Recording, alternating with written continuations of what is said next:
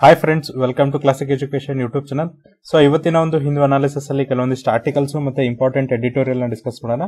So ನೋಡ್ರಿ first article ಏನಿದೆಯಪ್ಪ ಅಂದ್ರೆ India and Australia to sign a film treaty ನೋಡ್ರಿ ಏನ್ ಮಾಡ್ತಿದ್ದಾರೆ ಅಂದ್ರೆ, ಭಾರತ ಮತ್ತೆ ಆಸ್ಟ್ರೇಲಿಯಾದವ್ರು ಏನ್ ಮಾಡ್ತಿದ್ರಪ್ಪ ಅಂದ್ರೆ, ಒಂದು ಫಿಲಮಿಗೆ ಅಂದ್ರೆ ಫಿಲಂ ಇಂಡಸ್ಟ್ರಿ ಪ್ರೊಡಕ್ಷನ್ ಸಂಬಂಧಪಟ್ಟಂಗೆ ಏನಪ್ಪ ಅಂದ್ರೆ, ಒಂದು ಒಪ್ಪಂದವನ್ನ ಮಾಡ್ಕೊತಿದ್ದಾರೆ. ಇಲ್ಲಿ ಟ್ರೀಟಿ ಅಂದ್ರೆ ಏನಪ್ಪ ಅಂದ್ರೆ, ಒಂದು ಒಪ್ಪಂದವನ್ನ ಮಾಡ್ಕೊತಿದ್ದಾರೆ. ಸೊ ನೋಡ್ರಿ ಯೂನಿಯನ್ ಕ್ಯಾಬಿನೆಟ್ ಏನ್ ಮಾಡಿದೆ ಅಂದ್ರೆ ಒಂದು ಅಗ್ರಿಮೆಂಟ್ ಅನ್ನ ಮಾಡ್ಕೊಂಡಿದೆ ಅಥವಾ ಅಪ್ರೂವಲ್ ಅನ್ನ ಮಾಡಿದೆ. ಯಾವುದಕ್ಕೋಸ್ಕರಪ್ಪ ಅಂದ್ರೆ, ಈ ಆಡಿಯೋ ವಿಡಿಯೋ ವಿಜುವಲ್ ಕಾರ್ಪೊರೇಷನ್ಸ್ ಏನಿದೆಯಲ್ಲ, ಅಂದ್ರೆ ಭಾರತ ಸರ್ಕಾರ ಮತ್ತೆ ಆಸ್ಟ್ರೇಲಿಯಾ ಸರ್ಕಾರದ ಮಧ್ಯೆ ಏನು ಆಡಿಯೋ ವಿಡಿಯೋ ಮಧ್ಯೆ ಏನು ನಿಮಗೆ ಕೋ ಪ್ರೊಡಕ್ಷನ್ ಆಗ್ಬೇಕಲ್ಲ, ಅದಕ್ಕೆ ಏನಪ್ಪ ಅಂದ್ರೆ ಒಂದು ಅಪ್ರೂವಲ್ ಅನ್ನ ಕೊಟ್ಟಿದೆ ಇದೇನ್ ಮಾಡತ್ತಪ್ಪ ಅಂದ್ರೆ, ಎರಡು ದೇಶಗಳು ಸೇರಿ ಏನಪ್ಪ ಅಂದ್ರೆ ಫಿಲಮ್ ಅನ್ನ ಪ್ರೊಡ್ಯೂಸ್ ಮಾಡಕ್ಕೆ ಅಥವಾ ಎರಡು ದೇಶದ ಪ್ರೊಡ್ಯೂಸರ್ಸ್ ಸೇರ್ಕೊಂಡು ಏನಪ್ಪ ಅಂದ್ರೆ ಫಿಲಮ್ ಅನ್ನ ಪ್ರೊಡ್ಯೂಸ್ ಮಾಡಕ್ಕೆ ಅನುಕೂಲವನ್ನ ಮಾಡ್ತಿದೆ. ಹಾಗಾದ್ರೆ ಇಲ್ಲಿ ಯಾರ್ಯಾರೆಲ್ಲ ಫಿಲಮ್ ಅನ್ನ ಪ್ರೊಡ್ಯೂಸ್ ಮಾಡ್ಬೋದಪ್ಪ ಅಂದ್ರೆ ಸೊ ನೋಡ್ರಿ ಪ್ರೈವೇಟ್ ಆರ್ಗನೈಸೇಷನ್ ಅವರು ಕ್ವಾಸಿ ಗೌರ್ಮೆಂಟ್ ಅಂದ್ರೆ ಕ್ವಾಸಿ ಅಂದ್ರೆ ಅರ್ಧ ಪೂರ್ತಿ ಸರ್ಕಾರದಲ್ಲ, ಅರೆ ಸರ್ಕಾರದ ಏಜೆನ್ಸಿಗಳು ಮತ್ತೆ ಸರ್ಕಾರದ ಏಜೆನ್ಸಿಗಳು ಏನ್ ಮಾಡ್ಬೋದಪ್ಪ ಅಂದ್ರೆ ಫಿಲಮ್ ಅನ್ನ ಪ್ರೊಡ್ಯೂಸ್ ಮಾಡಬಹುದು ನೋಡ್ರಿ ಇಂಡಿಯಾ ಇಲ್ಲಿವರೆಗೆ ಇಂಥವು ಎಷ್ಟು ಟ್ರೀಟಿನ ಸೈನ್ ಮಾಡಿದೆಯಪ್ಪ ಅಂದ್ರೆ already fifteen audio video audio visual co production ಟ್ರೀಟಿನ sign ಮಾಡಿದೆ, ಬೇರೆ ಬೇರೆ ದೇಶಗಳ ಜೊತೆಗೆ. ಸೊ ನೋಡ್ರಿ ಇಂಡಿಯನ್ ಫಿಲಮ್ ಶೂಟ್ ಮಾಡೋದಕ್ಕೆ ಏನಪ್ಪ ಅಂದ್ರೆ ಆಸ್ಟ್ರೇಲಿಯಾ ಏನಿದೆಯಲ್ಲ ಇದೇನಾಗಿದೆಯಪ್ಪ ಅಂದ್ರೆ ಪ್ರಿಫರ್ಡ್ ಡೆಸ್ಟಿನೇಷನ್ ಅಂದ್ರೆ, ಈಗ ನಾವೇನಾದ್ರೂ ಶೂಟಿಂಗ್ ಮಾಡ್ಬೇಕಾದ್ರೆ, ನಮಗೆ ಚೆನ್ನಾಗಿ ಶೂಟಿಂಗ್ ಎಲ್ಲಿ ಮಾಡ್ಬೋದಪ್ಪ ಅಂದ್ರೆ ಆಸ್ಟ್ರೇಲಿಯಾದಲ್ಲಿ ಮಾಡ್ಬೋದು. ಅದಕ್ಕೆ ನಾವೇನಂತೇವೆ ಅಂದ್ರೆ ಪ್ರಿಫರ್ಡ್ ಅಂದ್ರೆ, ನಾವು ಜಾಸ್ತಿ ಪ್ರಿಫರೆನ್ಸ್ ಕೊಡೋದು ಯಾವ್ದಪ್ಪ ಅಂದ್ರೆ ಆಸ್ಟ್ರೇಲಿಯಾಗಂತ ಹೇಳ್ತಿದ್ದಾರೆ.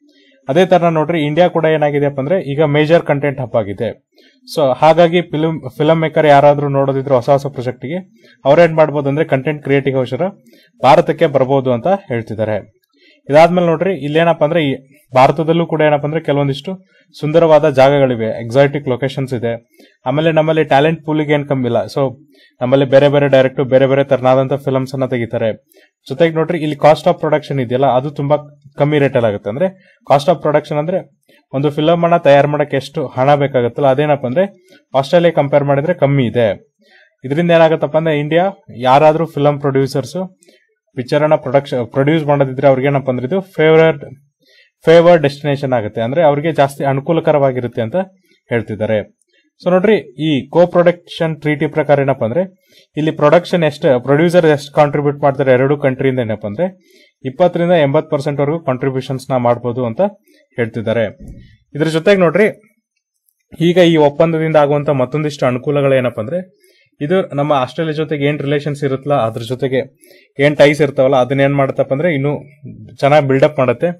ಜೊತೆಗೆ ನೋಡ್ರಿ, ಇದರಿಂದ ಏನಾಗುತ್ತಪ್ಪ ಅಂದ್ರೆ ನಮ್ಮ ಮತ್ತೆ ಆಸ್ಟ್ರೇಲಿಯಾದ ಮತ್ತೆ ಏನು ಆರ್ಟ್ ಆ್ಯಂಡ್ ಕಲ್ಚರ್ ಇದೆ, ಸಾಂಸ್ಕೃತಿಕವಾಗಿ ಮತ್ತೆ ಆರ್ಟ್ಸ್ ಏನಿದೆಯಲ್ಲ ಅದು ಚೇಂಜ್ ಆಗುತ್ತೆ. ಆಮೇಲೆ ಏನಪ್ಪ ಅಂದ್ರೆ, ಇದರಿಂದ ನಮ್ಮಲ್ಲಿರುವಂಥ ಕೆಲವೊಂದಿಷ್ಟು ಆರ್ಟಿಸ್ಟ್ಸ್ ಅಂದ್ರೆ ಕಲಾಕಾರರಿಗೆ ಏನಪ್ಪ ಅಂದ್ರೆ ಕೆಲಸಗಳು ಸಿಗುತ್ತೆ. ಜೊತೆಗೆ ಅವ್ರಿಗೆ ಟೆಕ್ನಿಕಲ್ ಆಸ್ಪೆಕ್ಟ್ ಮತ್ತೆ ನಾನ್ ಟೆಕ್ನಿಕಲ್ ಪರ್ಸನ್ ಜೊತೆಗೆ ಆಡಿಯೋ ವಿಜುವಲ್ ಕೋ ಪ್ರೊಡಕ್ಷನ್ ಮಾಡೋದ್ರಿಂದ ಅವರ ಸಾಫ್ಟ್ ಸ್ಕಿಲ್ಸ್ ಕೂಡ ಇವರು ಅರ್ನ್ ಮಾಡ್ಕೋಬಹುದು ಅಂತ ಹೇಳ್ತಿದ್ದಾರೆ. ಇದ್ರ ಜೊತೆಗೆ ನೋಡ್ರಿ ಇಂಡಿಯಾ ಏನ್ ಮಾಡತ್ತಪ್ಪ ಅಂದ್ರೆ ಲೊಕೇಶನ್ಸ್ ಕೂಡ ಜಾಸ್ತಿ ಮಾಡಿ. ಯಾರಾದ್ರೂ ಫಿಲಂ ಶೂಟಿಂಗ್ ಬರೋದಿದ್ರೆ ಅವ್ರಿಗೆ ಏನ್ ಮಾಡ್ತಾರೆ ಅಂದ್ರೆ ಇದನ್ನು ಪ್ರಿಫರ್ಡ್ ಲೊಕೇಶನ್ ಆಗಿ ಮಾಡ್ತಾರೆ. ಪ್ರಿಫರ್ಡ್ ಅಂದ್ರೆ ಹೆಚ್ಚು ಯಾರಾದ್ರೂ ಫಿಲಂ ಅನ್ನ ಪ್ರೊಡ್ಯೂಸ್ ಮಾಡೋದಿದ್ರೆ ಭಾರತಕ್ಕೆ ಭಾರತಕ್ಕೆ ಬರಬೇಕು. ಆ ತರದಾದಂತ ಒಂದು ಲೊಕೇಶನ್ ಕ್ರಿಯೇಟ್ ಮಾಡಕ್ಕೆ ನೋಡ್ತಿದ್ದಾರೆ. ಸೊ ನೋಡ್ರಿ, ನಮ್ಮ ನೆಕ್ಸ್ಟ್ ಆರ್ಟಿಕಲ್ ಏನಿದೆಯಪ್ಪ ಅಂದ್ರೆ ಇಲ್ಲಿ ನೆಕ್ಸ್ಟ್ ಆರ್ಟಿಕಲ್ ಇರೋದು ಎಲೆಕ್ಟ್ರಿಸಿಟಿ ಬಿಲ್ ಬಗ್ಗೆ ಇದ್ದಾರೆ, ಹೇಳ್ತಿದ್ದಾರೆ. ಸೊ ನೋಡ್ರಿ the uproar over the electricity amendment bill twenty twenty two so ಇದೇನು ಎಲೆಕ್ಟ್ರಿಸಿಟಿ ಬಿಲ್ ಅನ್ನ ಇಂಟ್ರೊಡ್ಯೂಸ್ ಮಾಡಿದ್ದಾರೆ ಅದರಿಂದ ಏನು ಸದನದಲ್ಲಿ ಸ್ವಲ್ಪ ಗಲಾಟೆಗಳು ಅಥವಾ ಡಿಬೇಟ್ಸ್ ಜಾಸ್ತಿ ಆಗಿದೆ.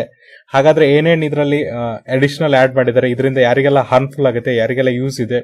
ಸೊ ಈ ಬಿಲ್ ಏನು ಹೇಳುತ್ತೆ ಅನ್ನೋದನ್ನ ಇಲ್ಲಿ ಡಿಸ್ಕಸ್ ಮಾಡಿದ್ದಾರೆ. ಸೊ ನೋಡ್ರಿ, ಆಗಸ್ಟ್ ಎಂಟನೇ ತಾರೀಕು ಏನ್ ಮಾಡಿದಾರಪ್ಪ ಅಂದ್ರೆ ಎಲೆಕ್ಟ್ರಿಸಿಟಿ ಅಮೆಂಡ್ಮೆಂಟ್ ಬಿಲ್ ಅನ್ನ ಇಂಟ್ರೊಡ್ಯೂಸ್ ಮಾಡಿದ್ದಾರೆ. ಎಲ್ಲಂದ್ರೆ, ಲೋಕಸಭೆದಲ್ಲಿ ಏನ್ ಮಾಡಿದಾರಪ್ಪ ಅಂದ್ರೆ ಎಲೆಕ್ಟ್ರಿಸಿಟಿ ಅಮೆಂಡ್ಮೆಂಟ್ ಬಿಲ್ ಅನ್ನ ಇಂಟ್ರೊಡ್ಯೂಸ್ ಮಾಡಿದ್ದಾರೆ. ಸೊ ಯೂನಿಯನ್ ಪವರ್ ಮಿನಿಸ್ಟರ್ ಅವ್ರು ಏನ್ ಹೇಳಿದ್ರು ಅಂದ್ರೆ ಇದನ್ನೀಗ ಇಂಟ್ರೊಡ್ಯೂಸ್ ಮಾಡ್ತೀವಿ. ಆಮೇಲೆ ಏನ್ ಮಾಡ್ತೀವಪ್ಪ ಅಂದ್ರೆ, ಇದನ್ನ ಎನರ್ಜಿ ಸ್ಟ್ಯಾಂಡಿಂಗ್ ಕಮಿಟಿ ಏನಿರುತ್ತಲ್ಲ ಪಾರ್ಲಿಮೆಂಟ್ ಅವ್ರಿಗೆ ರೆಫರೇಷನ್ ರೆಫರೆನ್ಸ್ ಅನ್ನ ಮಾಡ್ತೀವಿ. ಅಂದ್ರೆ ಅವ್ರಿಗೆ ಏನಪ್ಪ ಅಂದ್ರೆ, ಇನ್ನೂ ಕನ್ಸಿಡರೇಷನ್ ಮಾಡಕ್ಕೆ ರೆಫರೆನ್ಸ್ ಅನ್ನ ಮಾಡ್ತೀವಿ. ಅವ್ರ ಜೊತೆ ಬ್ರಾಡ್ ಕನ್ಸಲ್ಟೇಷನ್ ಆದ್ಮೇಲೆ ಏನ್ ಮಾಡ್ತೀವಪ್ಪ ಅಂದ್ರೆ, ಮತ್ತೆ ಬಿಲ್ ಅನ್ನ ಪಾರ್ಲಿಮೆಂಟ್ಗೆ ಇಂಟ್ರೊಡ್ಯೂಸ್ ಮಾಡ್ತೀವಿ ಅಂತ ಹೇಳಿದ್ದಾರೆ.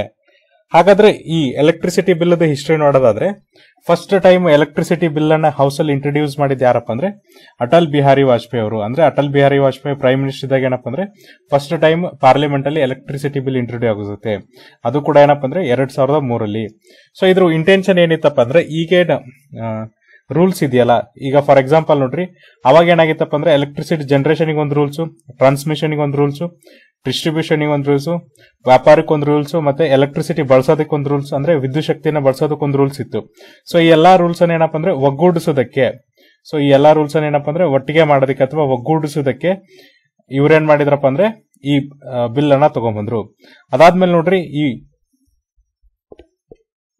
ಆಕ್ಟ್ ಅಲ್ಲಿ ಏನ್ ಹೇಳ್ತಾರೆ, ಈ ಕಾನೂನಲ್ಲಿ ಏನ್ ಹೇಳ್ತಾರೆ ಅಂದ್ರೆ ಈ ಯಾರು ಗ್ರಾಹಕರು ಇರ್ತಾರಲ್ಲ ಅವ್ರ ಇಂಟ್ರೆಸ್ಟ್ ಏನಿದೆ ಅದನ್ನು ಕೂಡ ಕಾಪಾಡ್ತಾರೆ. ಆಮೇಲೆ ಏನಪ್ಪಾ ಅಂದ್ರೆ ಪ್ರತಿಯೊಂದು ಏರಿಯಾ ಕೂಡ ಏನಪ್ಪಾ ಅಂದ್ರೆ ವಿದ್ಯುತ್ ಶಕ್ತಿಯನ್ನ ಸಪ್ಲೈ ಅನ್ನು ಮಾಡ್ತಾರೆ. ಜೊತೆಗೆ ನೋಡ್ರಿ, ವಿದ್ಯುತ್ ಬಿಲ್ ಏನಿರುತ್ತೆ ಅಂದ್ರೆ, ಈಗ ನಾವು ಪರ್ ಯೂನಿಟ್ ಎಷ್ಟು ಕನ್ಸಂಪ್ಷನ್ ಮಾಡ್ತೀವಲ್ಲ, ಅದನ್ನು ಕೂಡ ಏನ್ ಮಾಡ್ತಾರಪ್ಪ ಅಂದ್ರೆ ರಾಷನಲೈಸ್ ಮಾಡ್ತಾರೆ. ಅಂದ್ರೆ ಜಾಸ್ತಿ ಇದ್ರೆ ಅದನ್ನ ಕಮ್ಮಿ ಮಾಡೋದು, ಈ ತರದ ಕೆಲವೊಂದಿಷ್ಟು ಆಕ್ಟಿವಿಟೀಸ್ನ ಮಾಡ್ತಾರೆ. ಇದಾದ್ಮೇಲೆ ಮುಂಚೆ ಏನಿತ್ತಪ್ಪ ಅಂದ್ರೆ ಎಲೆಕ್ಟ್ರಿಸಿಟಿ ಬಿಲ್ ಅಲ್ಲಿ ಅಥವಾ ಎಲೆಕ್ಟ್ರಿಸಿಟಿ ಪಾಲಿಸಿಯಲ್ಲಿ ಯಾವುದೇ ತರನಾದಂತ ಪಾರದರ್ಶಕತೆ ಇರ್ತಿದ್ದಿಲ್ಲ. ಆ ಪಾರದರ್ಶಕನ ಕೂಡ ಏನಪ್ಪಾ ಅಂದ್ರೆ ಇದಕ್ಕೆ ತಗೊಂಬಂದ್ರು. ಈ ಕಾನೂನಿಂದ ಏನಾಯ್ತಪ್ಪ ಅಂದ್ರೆ ಎಲೆಕ್ಟ್ರಿಸಿಟಿ ಅಥವಾ ಡಿಸ್ಟ್ರಿಬ್ಯೂಷನ್ ಕಂಪನಿ ಏನಿರ್ತವೆ? ಫಾರ್ ಎಕ್ಸಾಂಪಲ್ ಹೆಸ್ಕಾಮ್ ಮೆಸ್ಕಾಮ್ ಬೆಸ್ಕಾಮ್ ಏನಿದಾವಲ್ಲ ಅವೇನಾಯ್ತಪ್ಪ ಅಂದ್ರೆ ಪ್ರೈವೇಟೈಸೇಷನ್ ಆಯ್ತು. ಅದಾದ್ಮೇಲೆ ಈ ಲಾನ ನೆಕ್ಸ್ಟ್ ಯಾವಾಗ ಅಮೆಂಡ್ಮೆಂಟ್ ಮಾಡಿದ್ರಪ್ಪ ಅಂದ್ರೆ ಎರಡ್ ಸಾವಿರದ ಏಳರಲ್ಲಿ. ಆಗ ಯಾರು ಅಮೆಂಡ್ಮೆಂಟ್ ಮಾಡಿದ್ರು ಅಂದ್ರೆ U P A government amendment ಅನ್ನ ಮಾಡ್ತು. ಇವ್ರೇನಪ್ಪ ಅಂದ್ರೆ ಲೆಫ್ಟ್ ಪಾರ್ಟೀಸ್ ಪ್ರೆಷರ್ ಒಳಗೆ ಇದನ್ನ ಅಮೆಂಡ್ಮೆಂಟ್ ಅನ್ನ ಮಾಡ್ತು. ಜೊತೆಗೆ ನೋಡ್ರಿ ಇವ್ರೇನ್ ಮಾಡಿದ್ರಪ್ಪ ಅಂದ್ರೆ ಯಾರಾದ್ರೂ ಬಡವ್ರು ಇದ್ರೆ ಅಂತವ್ರಿಗೆ ಏನಪ್ಪ ಅಂದ್ರೆ ಈ ಫ್ರೀ ಸಬ್ಸಿಡಿಯನ್ನ ಕೊಡಕ್ ಹೋದ್ರು ಅಂದ್ರೆ ಫ್ರೀ ಎಲೆಕ್ಟ್ರಿಸಿಟಿನ ಇದರಲ್ಲಿ ಇಂಟ್ರೊಡ್ಯೂಸ್ ಅನ್ನ ಮಾಡಿದ್ರು. ಯಾರಿಗಂದ್ರೆ ಬಡವರಿಗೆ. ಇದಾದ್ಮೇಲೆ ಬಿಲ್ ಅನ್ನ ನೋಡ್ರಿ ಎರಡ್ ಸಾವಿರದ ಹದಿನಾಲ್ಕು, ಎರಡ್ ಸಾವಿರದ ಹದಿನೇಳು, ಎರಡ್ ಸಾವಿರದ ಹದಿನೆಂಟು, ಇಪ್ಪತ್ತು ಮತ್ತೆ ಇಪ್ಪತ್ತೊಂದರಲ್ಲಿ ಮತ್ತೆ ಅಮೆಂಡ್ಮೆಂಟ್ ಮಾಡಕ್ ಹೋದ್ರು. ಬಟ್ ಎಲ್ಲಿ ಕೂಡ ಏನಪ್ಪ ಅಂದ್ರೆ ಅಮೆಂಡ್ಮೆಂಟ್ ಪಾಸ್ ಆಗಕ್ಕಾಗ್ಲಿಲ್ಲ ಇದಾದ್ಮೇಲೆ ಎರಡ್ ಸಾವಿರದ ಹದಿನಾಲ್ಕರಲ್ಲಿ ಏನಪ್ಪ ಅಂದ್ರೆ ಈ ಬಿಲ್ ಅನ್ನ ಈಗೇನು ನಾವು ಪಾರ್ಲಿಮೆಂಟರಿ ಸ್ಟ್ಯಾಂಡಿಂಗ್ ಕಮಿಟಿ ಆನ್ ಎನರ್ಜಿಗೆ ರೆಫರ್ ಮಾಡಿದ್ವಲ್ಲ ಅದೇ ತರ ರೆಫರ್ ಮಾಡಿದ್ವಿ. ಬಟ್ ಏನಪ್ಪ ಅಂದ್ರೆ ಬಿಲ್ ಅನ್ನ ಪಾಸ್ ಮಾಡೋಕ್ಕಾಗಲಿಲ್ಲ. ಯಾಕಂದ್ರೆ ಆಗಿರುವ ಕೇಂದ್ರ ಸರ್ಕಾರ ಏನಪ್ಪ ಅಂದ್ರೆ ಈ ಕಾನೂನು ಏನಿದೆ ಅದನ್ನೇನಪ್ಪ ಅಂದ್ರೆ ಚೇಂಜ್ ಮಾಡೋಕಿತ್ತು. ಅದಕ್ಕೋಸ್ಕರ ಏನಪ್ಪ ಅಂದ್ರೆ ಪಾಸ್ ಮಾಡೋಕ್ಕಾಗಲಿಲ್ಲ ಅಂತ ಹೇಳ್ತಿದ್ದಾರೆ. ಸೊ ನೋಡ್ರಿ ಎವ್ರಿ ಟೈಮ್ ಏನಾದ್ರೂ ಎಲೆಕ್ಟ್ರಿಸಿಟಿ ಬಿಲ್ ಅನ್ನ ಇಂಟ್ರೊಡ್ಯೂಸ್ ಮಾಡಿದಾಗ ಏನಪ್ಪ ಅಂದ್ರೆ ಈ ಪಾರ್ಲಿಮೆಂಟ್ ಅಲ್ಲಿ ಪಾಸ್ ಮಾಡೋಕ್ಕಾಗಲ್ಲ. ಯಾಕಂದ್ರೆ ಅಪೋಸಿಷನ್ ಇರ್ಬೋದು ಅಥವಾ ಕನ್ಸಲ್ಟೇಷನ್ ಇರ್ಬೋದು ಡಿಬೇಟ್ ಜಾಸ್ತಿ ಆಗಿ ವಿಡ್ರಾ ಮಾಡ್ಕೋತಾರೆ ಅಂತ ಹೇಳ್ತಿದ್ದಾರೆ. ಹಾಗಾದ್ರೆ ಈ ಬಿಲ್ ಅನ್ನ ಯಾಕೆ ಅಪೋಸ್ ಮಾಡ್ತಿದ್ದಾರೆ? ಯಾಕೆ ಈ ಬಿಲ್ ಅನ್ನ ಅಪೋಸ್ ಮಾಡ್ತಿದ್ದಾರೆ ಅಂದ್ರೆ ಸೊ ನೋಡ್ರಿ ಅಪೋಸಿಷನ್ ಎಲ್ಲಿಂದ ಬರ್ತಿದೆಯಪ್ಪ ಅಂದ್ರೆ ಇದಕ್ಕೆ ವಿರುದ್ಧ ಈ ರೈತರಿದಾರಲ್ಲ, ರೈತರ ಒಂದು ಸಂಘಗಳಿರ್ತಲ್ಲ ಅವ್ರು ಅಪೋಸ್ ಮಾಡ್ತಿದ್ದಾರೆ. ಯಾವ್ದಕ್ಕೋಸ್ಕರಪ್ಪ ಅಂದ್ರೆ, ಈಗೇನು ಇವರು ಪವರ್ ಸಪ್ಲೈಯಿಂಗ್ ಕಂಪ್ನೀಸ್ ಅವ್ರಿಗೆ ಫ್ರೀ ಸಬ್ಸಿಡಿ ಅಥವಾ ಫ್ರೀಯಾಗಿ ಕರೆಂಟ್ ಅನ್ನ ಏನು ಕೊಡ್ತಾರಲ್ಲ ಅದೇನಾಗಬಹುದಪ್ಪ ಅಂದ್ರೆ ನಿಂತು ಹೋಗ್ಬೋದು. ಆಕ್ಚುಲಿ ಬಿಲ್ ಬಂದ್ಮೇಲೆ ಏನಪ್ಪ ಅಂದ್ರೆ ಅದು ನಿಂತು ಹೋಗಿ ಏನಪ್ಪ ಅಂದ್ರೆ ಪ್ರೈವೇಟ್ ಸೆಕ್ಟರ್ ಕಡೆ ಹೋಗ್ಬೋದು ಅಥವಾ ಪ್ರೈವೇಟ್ ಕಂಪ್ನಿ ಅಂದ್ರೆ ಟೇಕ್ ಓವರ್ ಮಾಡ್ಬೋದು. ಅದಕ್ಕೋಸ್ಕರ ಏನಪ್ಪ ಅಂದ್ರೆ ರೈತರು ಇಲ್ಲಿ ಹೋರಾಟ ಮಾಡ್ತಿದ್ದಾರೆ. ಇದಾದ್ಮೇಲೆ ನೋಡ್ರಿ, ಈ ಯಾರು ಪವರ್ ಸೆಕ್ಟರ್ ಅಲ್ಲಿ ಕೆಲಸಗಾರ ಇದಾರಲ್ಲ, ಅವರು ಕೂಡ ಇದನ್ನೇನಪ್ಪ ಅಂದ್ರೆ ಅಪೋಸ್ ಮಾಡ್ತಿದ್ದಾರೆ ಯಾವ್ದಕ್ಕೋಸ್ಕರ ಅಪೋಸ್ ಮಾಡ್ತಿದ್ದಾರೆ ಅಂದ್ರೆ, ಈ ಪ್ರೈವೇಟೈಸೇಷನ್ ಆಗ್ಬಹುದು ಈ ಬಿಲ್ ಬಂದ್ರೆ ನಾವೇನು ಕರೆಂಟ್ ಡೆಸ್ಕಾಮ್ ಕಂಪ್ನಿ ಇದಾವಲ್ಲ ಡಿಸ್ಟ್ರಿಬ್ಯೂಟಿಂಗ್ ಕಂಪ್ನಿ ಅವೇನಾಗಬಹುದಪ್ಪ ಅಂದ್ರೆ ಪವರ್ ಪ್ರೈವೇಟೈಸೇಷನ್ ಆಗ್ಬೋದು. ಇದರಿಂದ ಏನಪ್ಪ ಅಂದ್ರೆ ನಮ್ಮ ಜಾಬ್ ಕೂಡ ಲಾಸ್ ಆಗ್ಬೋದು ಅಂತ ಹೇಳ್ತಿದ್ದಾರೆ ಆಮೇಲೆ ನೋಡ್ರಿ, ಕೆಲವೊಂದಿಷ್ಟು ಎಂ ಪಿಸ್ ಒಂದು ಜೆನ್ಯೂನ್ ಆದಂತ ವಾದ ಮಾಡಿದ್ದಾರೆ. ಏನ್ ಹೇಳ್ತಿದಾರಪ್ಪ ಅಂದ್ರೆ ಸೊ ನೋಡ್ರಿ, ಈ ಎಲೆಕ್ಟ್ರಿಸಿಟಿ ಅಥವಾ ಎನರ್ಜಿ ಅನ್ನೋದು ಏನ್ ಬರುತ್ತೆ ಅಂದ್ರೆ ಕನ್ಕರೆಂಟ್ ಲಿಸ್ಟ್ ಅಲ್ಲಿ ಬರುತ್ತೆ. ಅಂದ್ರೆ, ಸಮವರ್ತಿ ಪಟ್ಟಿಯಲ್ಲಿ ಬರುತ್ತೆ. ಎಲ್ಲಿ ಬರುತ್ತಪ್ಪ? ಸಮವರ್ತಿ ಪಟ್ಟಿಯಲ್ಲಿ ಬರುತ್ತೆ. ಹಾಗಾಗಿ ಈ ಬಿಲ್ ಅನ್ನ ನೀವು ಇಂಟ್ರೊಡ್ಯೂಸ್ ಮಾಡೋದಕ್ಕಿಂತ ಮುಂಚೆ, ಅಂದ್ರೆ ಈ ಕಾನೂನನ್ನ ನೀವು ಫಸ್ಟ್ ತರೋದಕ್ಕಿಂತ ಮುಂಚೆ, ನೀವೇನ್ ಮಾಡ್ಬೇಕಿತ್ತಪ್ಪ ಅಂದ್ರೆ ರಾಜ್ಯ ಸರ್ಕಾರದ ಜೊತೆಗೆ ಸಮಾಲೋಚನೆ ನಡೆಸಬೇಕಿತ್ತು. ಎಲ್ಲಾ ರಾಜ್ಯ ಸರ್ಕಾರದ ಜೊತೆಗೆ ಸಮಾಲೋಚನೆ ನಡೆಸಿ ಬಿಲ್ ಅನ್ನ ಇಂಟ್ರೊಡ್ಯೂಸ್ ಮಾಡ್ಬೇಕಂತ ಹೇಳ್ತಿದ್ದಾರೆ. ಯಾಕಂದ್ರೆ ಈ ಎನರ್ಜಿ ಅನ್ನೋದು ಬರುತ್ತಂದ್ರೆ ಸಮವರ್ತಿ ಪಟ್ಟಿಗೆ ಬರೋದ್ರಿಂದ ಇಲ್ಲಿ ಕೇಂದ್ರ ಸರ್ಕಾರದವ್ರಿಗೂ ಅದ್ರ ಮೇಲೆ ಕಾನೂನನ್ನು ಮಾಡೋ ಹಕ್ಕಿದೆ. ರಾಜ್ಯ ಸರ್ಕಾರದವ್ರಿಗೆ ಏನಪ್ಪ ಅಂದ್ರೆ ಅದ್ರ ಮೇಲೆ ಕಾನೂನು ಮಾಡುವ ಹಕ್ಕಿದೆ. ಹಾಗಾಗಿ ಈ ಬಿಲ್ ಅನ್ನು ಇಂಟ್ರೊಡ್ಯೂಸ್ ಮಾಡೋಕ್ಕಿಂತ ನೀವು ಮುಂಚೆ ಏನಪ್ಪ ಅಂದ್ರೆ ರಾಜ್ಯ ಸರ್ಕಾರದ ಜೊತೆಗೆ ಒಂದಿಷ್ಟು ಸಮಾಲೋಚನೆಯನ್ನ ಮಾಡಬೇಕಿತ್ತು ಅಂತ ಹೇಳ್ತಿದ್ದಾರೆ. ಇನ್ನು ಕೆಲವೊಂದಿಷ್ಟು ಎಂ ಪಿಸ್ ಏನ್ ಹೇಳ್ತಿದಾರಪ್ಪ ಅಂದ್ರೆ ಈ ಬಿಲ್ಲಿಂದ ಏನಾಗುತ್ತಪ್ಪ ಅಂದ್ರೆ ಪ್ರೈವೇಟೈಸೇಷನ್ ಆಗುತ್ತೆ. ಜೊತೆಗೆ ಏನಪ್ಪ ಅಂದ್ರೆ ನ್ಯಾಷನಲ್ ನ್ಯಾಷನಲ್ ನ್ಯಾಷನಲ್ ಇಂಟ್ರೆಸ್ಟ್ ಹಾಳಾಗುತ್ತೆ ಅಥವಾ ನ್ಯಾಷನಲೈಸೇಷನ್ ನಿಂತು ಹೋಗುತ್ತೆ ಇಲ್ಲ, ಏನ್ ಹೇಳ್ಬೋದಪ್ಪ ಅಂದ್ರೆ ನಮ್ಗೆ ಪ್ರಾಫಿಟ್ ಬರುತ್ತಲ್ಲ, ಕೇಂದ್ರ ಸರ್ಕಾರಕ್ಕೆ ಅದು ನಿಂತು ಹೋಗ್ಬಿಡುತ್ತೆ ಅಂತ ಹೇಳ್ತಿದ್ದಾರೆ.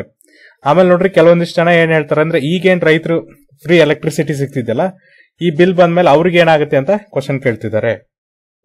ಹಾಗಾದ್ರೆ ನೋಡ್ರಿ, ಈ ಲಾ ಅಲ್ಲಿ ಏನೇನು ಅಮೆಂಡ್ಮೆಂಟ್ಸ್ ಅನ್ನ ತಂದಿದ್ದಾರೆ ಅಥವಾ ಇಲ್ಲಿ ಏನೇನು ತಿದ್ದುಪಡಿಗಳನ್ನ ತಂದಿದ್ದಾರೆ ಅಂದ್ರೆ, ಸೊ ನೋಡ್ರಿ, ಏನು ಡ್ರಾಫ್ಟ್ ಬಂದಿತ್ತಲ್ಲ, ಎರಡ್ ಸಾವಿರದ ಇಪ್ಪತ್ತು ಇಪ್ಪತ್ತೊಂದರ ಕಂಪೇರ್ ಮಾಡಿದ್ರೆ, ಈಗಿರುವಂತ ಎಲೆಕ್ಟ್ರಿಸಿಟಿ ಅಮೆಂಡ್ಮೆಂಟ್ ಬಿಲ್ ಅಥವಾ ಕಾನೂನು ಏನಿದೆ ಅಂದ್ರೆ ತುಂಬಾ ಚೇಂಜಸ್ ಅನ್ನ ತಂದಿದೆ ಅಂತ ಹೇಳ್ತಿದ್ದಾರೆ.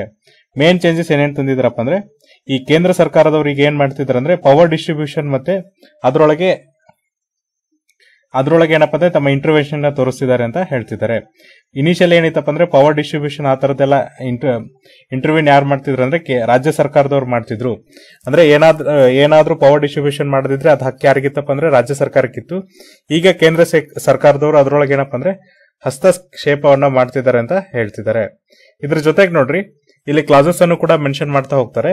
ಈ ಕ್ಲಾಸಸ್ ಎಲ್ಲೆಲ್ಲಿ ಕೊಟ್ಟಿದ್ರಪ್ಪ ಅಂದ್ರೆ clause five eleven twelve thirteen fifteen twenty three ಇದ್ರೊಳಗೆ ಏನಪ್ಪ ಅಂದ್ರೆ, ಕೇಂದ್ರ ಸರ್ಕಾರ ಯಾವ ತರನಾಗಿ ಈ ಬಿಲ್ ಅಲ್ಲಿ ರಾಜ್ಯ ಸರ್ಕಾರದ ಅಧಿಕಾರದೊಳಗೆ ಹಸ್ತಕ್ಷೇಪವನ್ನ ಮಾಡ್ತಿದೆ ಅಂತ ಹೇಳ್ತಿದ್ದಾರೆ. ಫಸ್ಟ್ ನೋಡ್ರಿ ಕ್ಲಾಸ್ ಫೈವ್ ಏನಿದೆಯಲ್ಲ, ಅದೇನಪ್ಪ ಅಂದ್ರೆ ಸೆಕ್ಷನ್ ಫೋರ್ಟೀನ್ ಏನ್ ಮಾಡ್ಬೇಕಪ್ಪ ಅಂದ್ರೆ, ತಿದ್ದುಪಡಿ ಮಾಡಬೇಕು. ತಿದ್ದುಪಡಿ ಮಾಡಿ ಏನ್ ಹೇಳ್ತಂದ್ರೆ, ಇದು ಸೆಕ್ಷನ್ ಫೋರ್ಟೀನ್ ಏನ್ ಹೇಳುತ್ತೆ ನೋಡ್ರಿ? ಏನ್ ಎಲೆಕ್ಟ್ರಿಸಿಟಿ ಡಿಸ್ಟ್ರಿಬ್ಯೂಷನ್ ಮಾಡೋರಿಗೆ ಕ್ರೈಟೀರಿಯಾ ಇರುತ್ತೆ? ಅಂದ್ರೆ, ಒಂದು ಎಲೆಕ್ಟ್ರಿಸಿಟಿ ಡಿಸ್ಟ್ರಿಬ್ಯೂಷನ್ ಇದ್ರೆ ಅದಕ್ಕೆ ಏನೇನು ಎಲಿಜಿಬಿಲಿಟಿ ಕಂಡೀಷನ್ ಇರ್ಬೇಕಲ್ಲ? ಅರ್ಹತೆ ಇರಬೇಕಲ್ಲ? ಅದನ್ನ ಯಾರು ಹೇಳ್ತಿದ್ರಪ್ಪ ಅಂದ್ರೆ ಸೆಕ್ಷನ್ ಫೋರ್ಟೀನ್ ಇರುತ್ತೆ. ಅದನ್ನ ಈಗ ಏನಂದ್ರೆ ಅಮೆಂಡ್ಮೆಂಟ್ ಮಾಡ್ತಿದ್ದಾರೆ. ಸೊ ಹಾಗಾಗಿ ಈ ತಿದ್ದುಪಡಿ ಮೂಲಕ ಏನಪ್ಪ ಅಂದ್ರೆ ಕೇಂದ್ರ ಸರ್ಕಾರಕ್ಕೆ ಈ ಕ್ರೈಟೀರಿಯಾ ಅಥವಾ ಅರ್ಹತಾ ಷರತ್ತುಗಳನ್ನ ಫಿಕ್ಸ್ ಮಾಡುವಂತ ಅಧಿಕಾರ ಸಿಗುತ್ತೆ. ಇದಾದ್ಮೇಲೆ ಇನ್ನೊಂದು ಕ್ಲಾಸ್ ಯಾವ್ದಪ್ಪ ಅಂದ್ರೆ ಕ್ಲಾಸ್ ಲೆವೆನ್ ಇದೇನ್ ಹೇಳುತ್ತೆ ಅಂದ್ರೆ ಸೆಕ್ಷನ್ ಫೋರ್ಟಿ ಟು ಇದೆಲ್ಲ ಅದನ್ನೇನಪ್ಪ ಅಂದ್ರೆ ತಿದ್ದುಪಡಿ ಮಾಡೋಣ ಅಂತ ಹೇಳ್ತಿದ್ದಾರೆ. ಸೊ ನೋಡ್ರಿ, ಇಲ್ಲೇನ್ ಹೇಳುತ್ತೆ ಅಂದ್ರೆ ಸೆಕ್ಷನ್ ಫೋರ್ಟಿ ಟು ಒಂದೇ ಏರಿಯಾದಲ್ಲಿ ಮಲ್ಟಿಪಲ್ ಡಿಸ್ಟ್ರಿಬ್ಯೂಷನ್ ಲೈಸೆನ್ಸ್ ಅನ್ನ ಕೊಡಬಹುದು ಅಂತ ಹೇಳಿದ್ದಾರೆ. ಅಂದ್ರೆ, ಈಗ ಫಾರ್ ಎಕ್ಸಾಂಪಲ್ ಬೆಂಗಳೂರು ಅಂತ ಒಂದು ಏರಿಯಾ ಅಂತ ಕೊರೆ ಅಲ್ಲಿ ಒಂದು ಡಿಸ್ಟ್ರಿಬ್ಯೂಷನ್ ಕಂಪ್ನಿ ಇನ್ನೊಂದು ಡಿಸ್ಟ್ರಿಬ್ಯೂಷನ್ ಕಂಪ್ನಿ ಕೂಡ ನೀವು ಲೈಸೆನ್ಸ್ ಅನ್ನ ಕೊಡ್ಬೋದು. ಬಟ್ ಇಲ್ಲೇನಂದ್ರೆ ಈಗ ಕೇಂದ್ರ ಸರ್ಕಾರದವರು ತಿದ್ದುಪಡಿ ಮೂಲಕ ಏನ್ ಹೇಳ್ತಿದ್ರು ಅಂದ್ರೆ, ಆ ತರದ ಲೈಸೆನ್ಸ್ ಅನ್ನ ಕೊಡಂಗಿಲ್ಲ. ಅಲ್ಲೇನ್ ಪ್ಯಾರ್ಲರ್ ನೆಟ್ವರ್ಕ್ ಇರುತ್ತಲ್ಲ, ಅದನ್ನ ಅವಾಯ್ಡ್ ಮಾಡೋದು. ಒಬ್ರಿಗೆ ಮಾತ್ರ ಲೈಸೆನ್ಸ್ ಅನ್ನ ಕೊಟ್ಟು ಅವ್ರ ಕಡೆಯಿಂದ ಏನಪ್ಪ ಅಂದ್ರೆ ಆಪ್ಟಿಮಲ್ ಯೂಸಸ್ ಅಂದ್ರೆ ಎಷ್ಟು ಹೆಚ್ಚಿಗೆ ಎಫಿಷಿಯಂಟ್ ಆಗಿ ಕೆಲಸ ಮಾಡಕ್ಕಾಗತ್ತಲ್ಲ, ಆ ಎಫಿಷಿಯನ್ಸಿನ ತಗೊಳ್ಳೋದು ಅದೇ ತರ ನೋಡ್ರಿ ತರ್ಟೀನ್ ಏನ್ ಹೇಳುತ್ತೆ ಅಂದ್ರೆ ಕ್ಲಾಸ್ ತರ್ಟೀನ್ ಇದು ಸೆಕ್ಷನ್ ಸಿಕ್ಸ್ಟೀನ ತಿದ್ದುಪಡಿ ಮಾಡ್ಬೇಕಂತ ಹೇಳುತ್ತೆ. ಇವರೇ ಇದ್ರೊಳಗೆ ಏನ್ ಹೇಳುತ್ತಪ್ಪ ಅಂದ್ರೆ, ಈ ಸೆಕ್ಷನ್ ಸಿಕ್ಸ್ಟಿ ಏನ್ ಹೇಳುತ್ತಂದ್ರೆ ಯಾವ ತರನಾಗಿ ಈ ಉತ್ಪಾದಿಸಿದಂತ ಎನರ್ಜಿನ ಪರ್ಚೇಸ್ ಮಾಡ್ಕೋಬೇಕು, ಮತ್ತೆ ಎಷ್ಟು ಸಬ್ಸಿಡಿಗೆ ಕೊಡಬೇಕು ಡಿಸ್ಟ್ರಿಬ್ಯೂಷನ್ಗೆ ಅಂದ್ರೆ ಕನ್ಸ್ಯೂಮರ್ಸ್ಗೆ ಅನ್ನೋದನ್ನ ಹೇಳುತ್ತೆ. ಅಂದ್ರೆ ಇದೊಂಥರ ಏನಪ್ಪ ಅಂದ್ರೆ ಯಾವ ಎಷ್ಟು ಹಣ ಕೊಟ್ಟು ನಾವು ಪರ್ಚೇಸ್ ಮಾಡಬೇಕು, ಮತ್ತೆ ಗ್ರಾಹಕರಿಗೆ ಯಾವ ತರನಾಗಿ ಕೊಡಬೇಕು ಅನ್ನೋದು ಹೇಳ್ತಿದ್ದಾರೆ. ಈಗ ಏನು ಹೇಳ್ತಿದಾರಪ್ಪ ಅಂದ್ರೆ ಒಂದ್ ಏರಿಯಾದಲ್ಲಿ ಒಬ್ರಿಗಿಂತ ಜಾಸ್ತಿ ನೀವೇನಪ್ಪ ಅಂದ್ರೆ ಡಿಸ್ಟ್ರಿಬ್ಯೂಷನ್ ಸಪ್ಲೈಗೆ ಕೊಡಂಗಿಲ್ಲ ಅಥವಾ ಸಪ್ಲೈ ಮಾಡಕ್ಕೆ ಅಲ್ಲಿ ಅವಕಾಶ ಕೊಡಂಗಿಲ್ಲ ಅಂತ ಹೇಳಿದ್ದಾರೆ. ಆಮೇಲೆ ನೋಡ್ರಿ ಸ್ಟೇಟ್ ಗವರ್ಮೆಂಟ್ ಅವ್ರು ಏನ್ ಮಾಡ್ಬೇಕಪ್ಪ ಅಂದ್ರೆ ಈ ಕ್ರಾಸ್ ಸಬ್ಸಿಡಿ ಬ್ಯಾಲೆನ್ಸಿಂಗ್ ಫಂಡ್ ಅನ್ನ ಸೆಟಪ್ ಮಾಡಬೇಕು. ಈಗ ನೀವು ಸಬ್ಸಿಡಿ ಕೊಡ್ತಿದ್ರಲ್ಲ, ಆ ಫಂಡ್ ಅನ್ನ ರೆಡಿ ಮಾಡಿಕೊಂಡು ಅದನ್ನೇನ್ ಮಾಡ್ಬೇಕಪ್ಪ ಅಂದ್ರೆ ಗವರ್ಮೆಂಟ್ ಕಂಪ್ನಿ ಜೊತೆಗೆ ಮ್ಯಾನೇಜ್ ಮಾಡ್ಬೇಕು ಅಂತ ಹೇಳ್ತಿದ್ದಾರೆ. ಇದಾದ್ಮೇಲೆ ನೋಡ್ರಿ, ಇದಿಷ್ಟೇನಪ್ಪ ಅಂದ್ರೆ ಈಗ ಬಂದಿರುವಂತ, ಹೊಸದಾಗಿರುವಂತ ಬಿಲ್ ಬಗ್ಗೆ ಇರುವಂತ ಅಸಮಾಧಾನ ಅಂತ ನಾವು ಹೇಳ್ಬೋದಾಗಿದೆ. ಅದೇ ತರನಾಗಿ ನಮ್ಮ ನೆಕ್ಸ್ಟ್ ಆರ್ಟಿಕಲ್ ಏನಿದೆ ನೋಡ್ರಿ. ನೆಕ್ಸ್ಟ್ ಆರ್ಟಿಕಲ್ ನಾವು ಯಾವ್ದ್ರ ಮೇಲೆ ಡಿಸ್ಕಸ್ ಮಾಡ್ತಿದೀವಪ್ಪ ಅಂದ್ರೆ ಯು ಎಸ್ ಲಾ ಬಗ್ಗೆ ಡಿಸ್ಕಷನ್ ಮಾಡ್ತಿದ್ವಿ. ಯು ಎಸ್ ಅವ್ರು ಏನ್ ಮಾಡಿದಾರಪ್ಪ ಅಂದ್ರೆ the new bill on climate action. ಈ ಕ್ಲೈಮೇಟ್ ವಾತಾವರಣ, ಹವಾಮಾನ ಬದಲಾವಣೆ ಮೇಲೆ ಏನಪ್ಪ ಅಂದ್ರೆ ಹೊಸ ಕಾನೂನನ್ನ ತಂದಿದ್ದಾರೆ ಸೊ ನೋಡ್ರಿ ಯು ಎಸ್ ಎನ ಸೆನೆಟ್ ಅವರು ಏನಪ್ಪ ಅಂದ್ರೆ ಹೊಸ ಬಿಲ್ ಅನ್ನ ತಂದಿದ್ದಾರೆ. ಆ ಬಿಲ್ ಹೆಸರೇನಪ್ಪ ಅಂದ್ರೆ inflame inflation reduction act so ನೋಡ್ರಿ, ಆ ಬಿಲ್ಲಿನ ಹೆಸರೇನಪ್ಪ ಅಂದ್ರೆ ಇನ್ಫ್ಲೇಷನ್ ರಿಡಕ್ಷನ್ ಆಕ್ಟ್ ಕನ್ನಡದಲ್ಲಿ ಹೇಳೋದಾದ್ರೆ ಹಣದುಬ್ಬರ ನಿಯಂತ್ರಣ ಕಾಯ್ದೆ ಅಂತ ಹೇಳ್ಬೋದು. ಹಣದುಬ್ಬರ ನಿಯಂತ್ರಣ ಕಾಯ್ದೆ ಎರಡ್ ಸಾವಿರದ ಇಪ್ಪತ್ತೆರಡು. ಸೊ ನೋಡ್ರಿ ಇದ್ರ ಮುಖ್ಯ ಉದ್ದೇಶ ಏನಪ್ಪ ಅಂದ್ರೆ ಏನ್ ಹವಾಮಾನ ಬದಲಾವಣೆ ಇದೆ, ಆಮೇಲೆ ಆರೋಗ್ಯದ ಮೇಲಿದೆ, ಆಮೇಲೆ ಟ್ಯಾಕ್ಸ್ ಪ್ರೊವಿಷನ್ಸ್ ಅಂದ್ರೆ ಈ ಟ್ಯಾಕ್ಸ್ ಏನ್ ಹಾಕ್ತಾರ, ಬರುತ್ತಲ್ಲ, ಅದ್ರ ಮೇಲೆ ಮತ್ತೆ ಈ ಹಣದುಬ್ಬರವನ್ನ ಯಾವ ತರನಾಗಿ ಕಂಟ್ರೋಲ್ ಮಾಡಬೇಕು? ಇದ್ರ ಮೇಲೆ ಏನಪ್ಪ ಅಂದ್ರೆ ಈ ಕಾನೂನನ್ನ ತಗೊಂಡ್ಬಂದಿದ್ದಾರೆ ಸೊ ನೋಡ್ರಿ, ಇದೇನಪ್ಪ ಅಂದ್ರೆ ಈ ಬಿಲ್ಲಿನ ಏನಪ್ಪ ಅಂದ್ರೆ ಯು ಎಸ್ ಗವರ್ಮೆಂಟ್ ಅಥವಾ ಯು ಎಸ್ನ ಸರ್ಕಾರ ಏನ್ ಮಾಡ್ತಿದೆ ಅಂದ್ರೆ ಬಿಗ್ಗೆಸ್ಟ್ ಕ್ಲೀನ್ ಎನರ್ಜಿ ಪ್ರಾಜೆಕ್ಟ್ ಅನ್ನ ಮಾಡ್ತಿದೆ. ಅದಕ್ಕೋಸ್ಕರ ಎಷ್ಟು ಅಪ್ರೂವಲ್ ಕೊಡ್ತಿದಾರಪ್ಪ ಅಂದ್ರೆ three sixty nine billion dollar ಅನ್ನ ಕೊಡ್ತಿದ್ದಾರೆ. ಯಾವ್ದಕ್ಕೋಸ್ಕರಪ್ಪ ಅಂದ್ರೆ ಕ್ಲೀನ್ ಎನರ್ಜಿ ಟ್ರಾನ್ಸ್ಮಿಷನ್ಗೋಸ್ಕರ ಅಂತ ಹೇಳ್ತಿದ್ದಾರೆ. ಇದಾದ್ಮೇಲೆ ನೋಡ್ರಿ, ಇವ್ರು ಏನ್ ಮಾಡ್ತಿದಾರೆ ಅಂದ್ರೆ ಯಾರೆಲ್ಲ ಲೋ ಮತ್ತೆ ಮಿಡಲ್ ಇನ್ಕಮ್ ಹೌಸ್ ಹೋಲ್ಡ್ಸ್ ಎಲೆಕ್ಟ್ರಿಸಿಟಿನ ತಗೋತಾರೆ ಅಂತವ್ರಿಗೆ ಏನ್ ಮಾಡ್ತಿದಾರಪ್ಪ ಅಂದ್ರೆ ಟ್ಯಾಕ್ಸ್ ಡಿಡಕ್ಷನ್ ಅನ್ನ ಮಾಡ್ತಿದ್ದಾರೆ. ಆಮೇಲೆ ನೋಡ್ರಿ, ಯಾರು ಹೈಯರ್ ಎನರ್ಜಿಗೆ ಹೋಗ್ತಾರಲ್ಲ, ಅವ್ರಿಗೆ ಟ್ಯಾಕ್ಸ್ ಜಾಸ್ತಿಯನ್ನ ಮಾಡ್ತಾರೆ. ಯಾರು ಲೋ ಮತ್ತೆ ಮಿಡಲ್ ಅಂದ್ರೆ ಬಡವರು ಮತ್ತೆ ಮಧ್ಯಮ ವರ್ಗದವ್ರಿಗೆ ಏನಪ್ಪ ಅಂದ್ರೆ ಟ್ಯಾಕ್ಸ್ ರಿಡಕ್ಷನ್ ಅನ್ನ ಮಾಡ್ತಿದ್ರೆ. ಯಾವ್ದಕ್ಕೋಸ್ಕರ ಅಂದ್ರೆ ಎನರ್ಜಿ ಬಿಲ್ ಅನ್ನ ಕಡಿಮೆ ಮಾಡೋದಕ್ಕೋಸ್ಕರ ಜೊತೆಗೆ ಏನಪ್ಪ ಅಂದ್ರೆ ಹೆಚ್ಚು ಹೆಚ್ಚು ಎಲೆಕ್ಟ್ರಿಸಿಟಿ ಯೂಸ್ ಮಾಡಿಕೊಂಡು ಕ್ಲೀನ್ ಎನರ್ಜಿ ಕಡೆ ಮೂವ್ ಆಗೋದಕ್ಕೆ. ಇದಾದ್ಮೇಲೆ ನೋಡ್ರಿ ಡೊಮೆಸ್ಟಿಕ್ ಪ್ರೊಡಕ್ಷನ್ಸ್ ಏನಿದೆ. ಯಾವ್ದ್ರೊಳಗೆ ಸ್ಥಳೀಯ ಉತ್ಪಾದನೆ ಅಪ್ಪ ಅಂದ್ರೆ ಹೀಟ್ ಫಾರ್ಮ್ಸ್ ಮತ್ತೆ ಕ್ರಿಟಿಕಲ್ ಮಿನರಲ್ ಅಲ್ಲಿ ಸ್ಥಳೀಯ ಉತ್ಪಾದನೆ ಏನಿದೆಯಲ್ಲ, ಅದನ್ನ ಜಾಸ್ತಿ ಮಾಡ್ತಿದ್ದಾರೆ. ಆಮೇಲೆ ನೋಡ್ರಿ, ಯಾರೆಲ್ಲ ಡಿಸ್ಅಡ್ವಾಂಟೇಜಸ್ ಮತ್ತೆ ಟ್ರೈಬಲ್ ಕಮ್ಯುನಿಟೀಸ್ ಇರ್ತಾರಲ್ಲ ಅಂತವ್ರಿಗೆ ಏನ್ ಮಾಡ್ತಿದಾರಪ್ಪ ಅಂದ್ರೆ ಇವರು ಜೀರೋ ಎಮಿಷನ್ ಟೆಕ್ನಾಲಜೀಸ್ ತಗೊಳ್ಳೋದಕ್ಕೆ ಏನ್ ಮಾಡ್ತಾರಪ್ಪ ಅಂದ್ರೆ ಫಂಡಿಂಗ್ ಅನ್ನ ಮಾಡ್ತಾರೆ. ಅಂದ್ರೆ ಅವರಿಗೆ ಒಂದಿಷ್ಟು ಹಣ ಸಹಾಯವನ್ನ ಮಾಡಿ ಏನಪ್ಪ ಅಂದ್ರೆ, ಅವ್ರಿಗೆ ಹೆಲ್ಪ್ ಅನ್ನ ಮಾಡ್ತಾರೆ.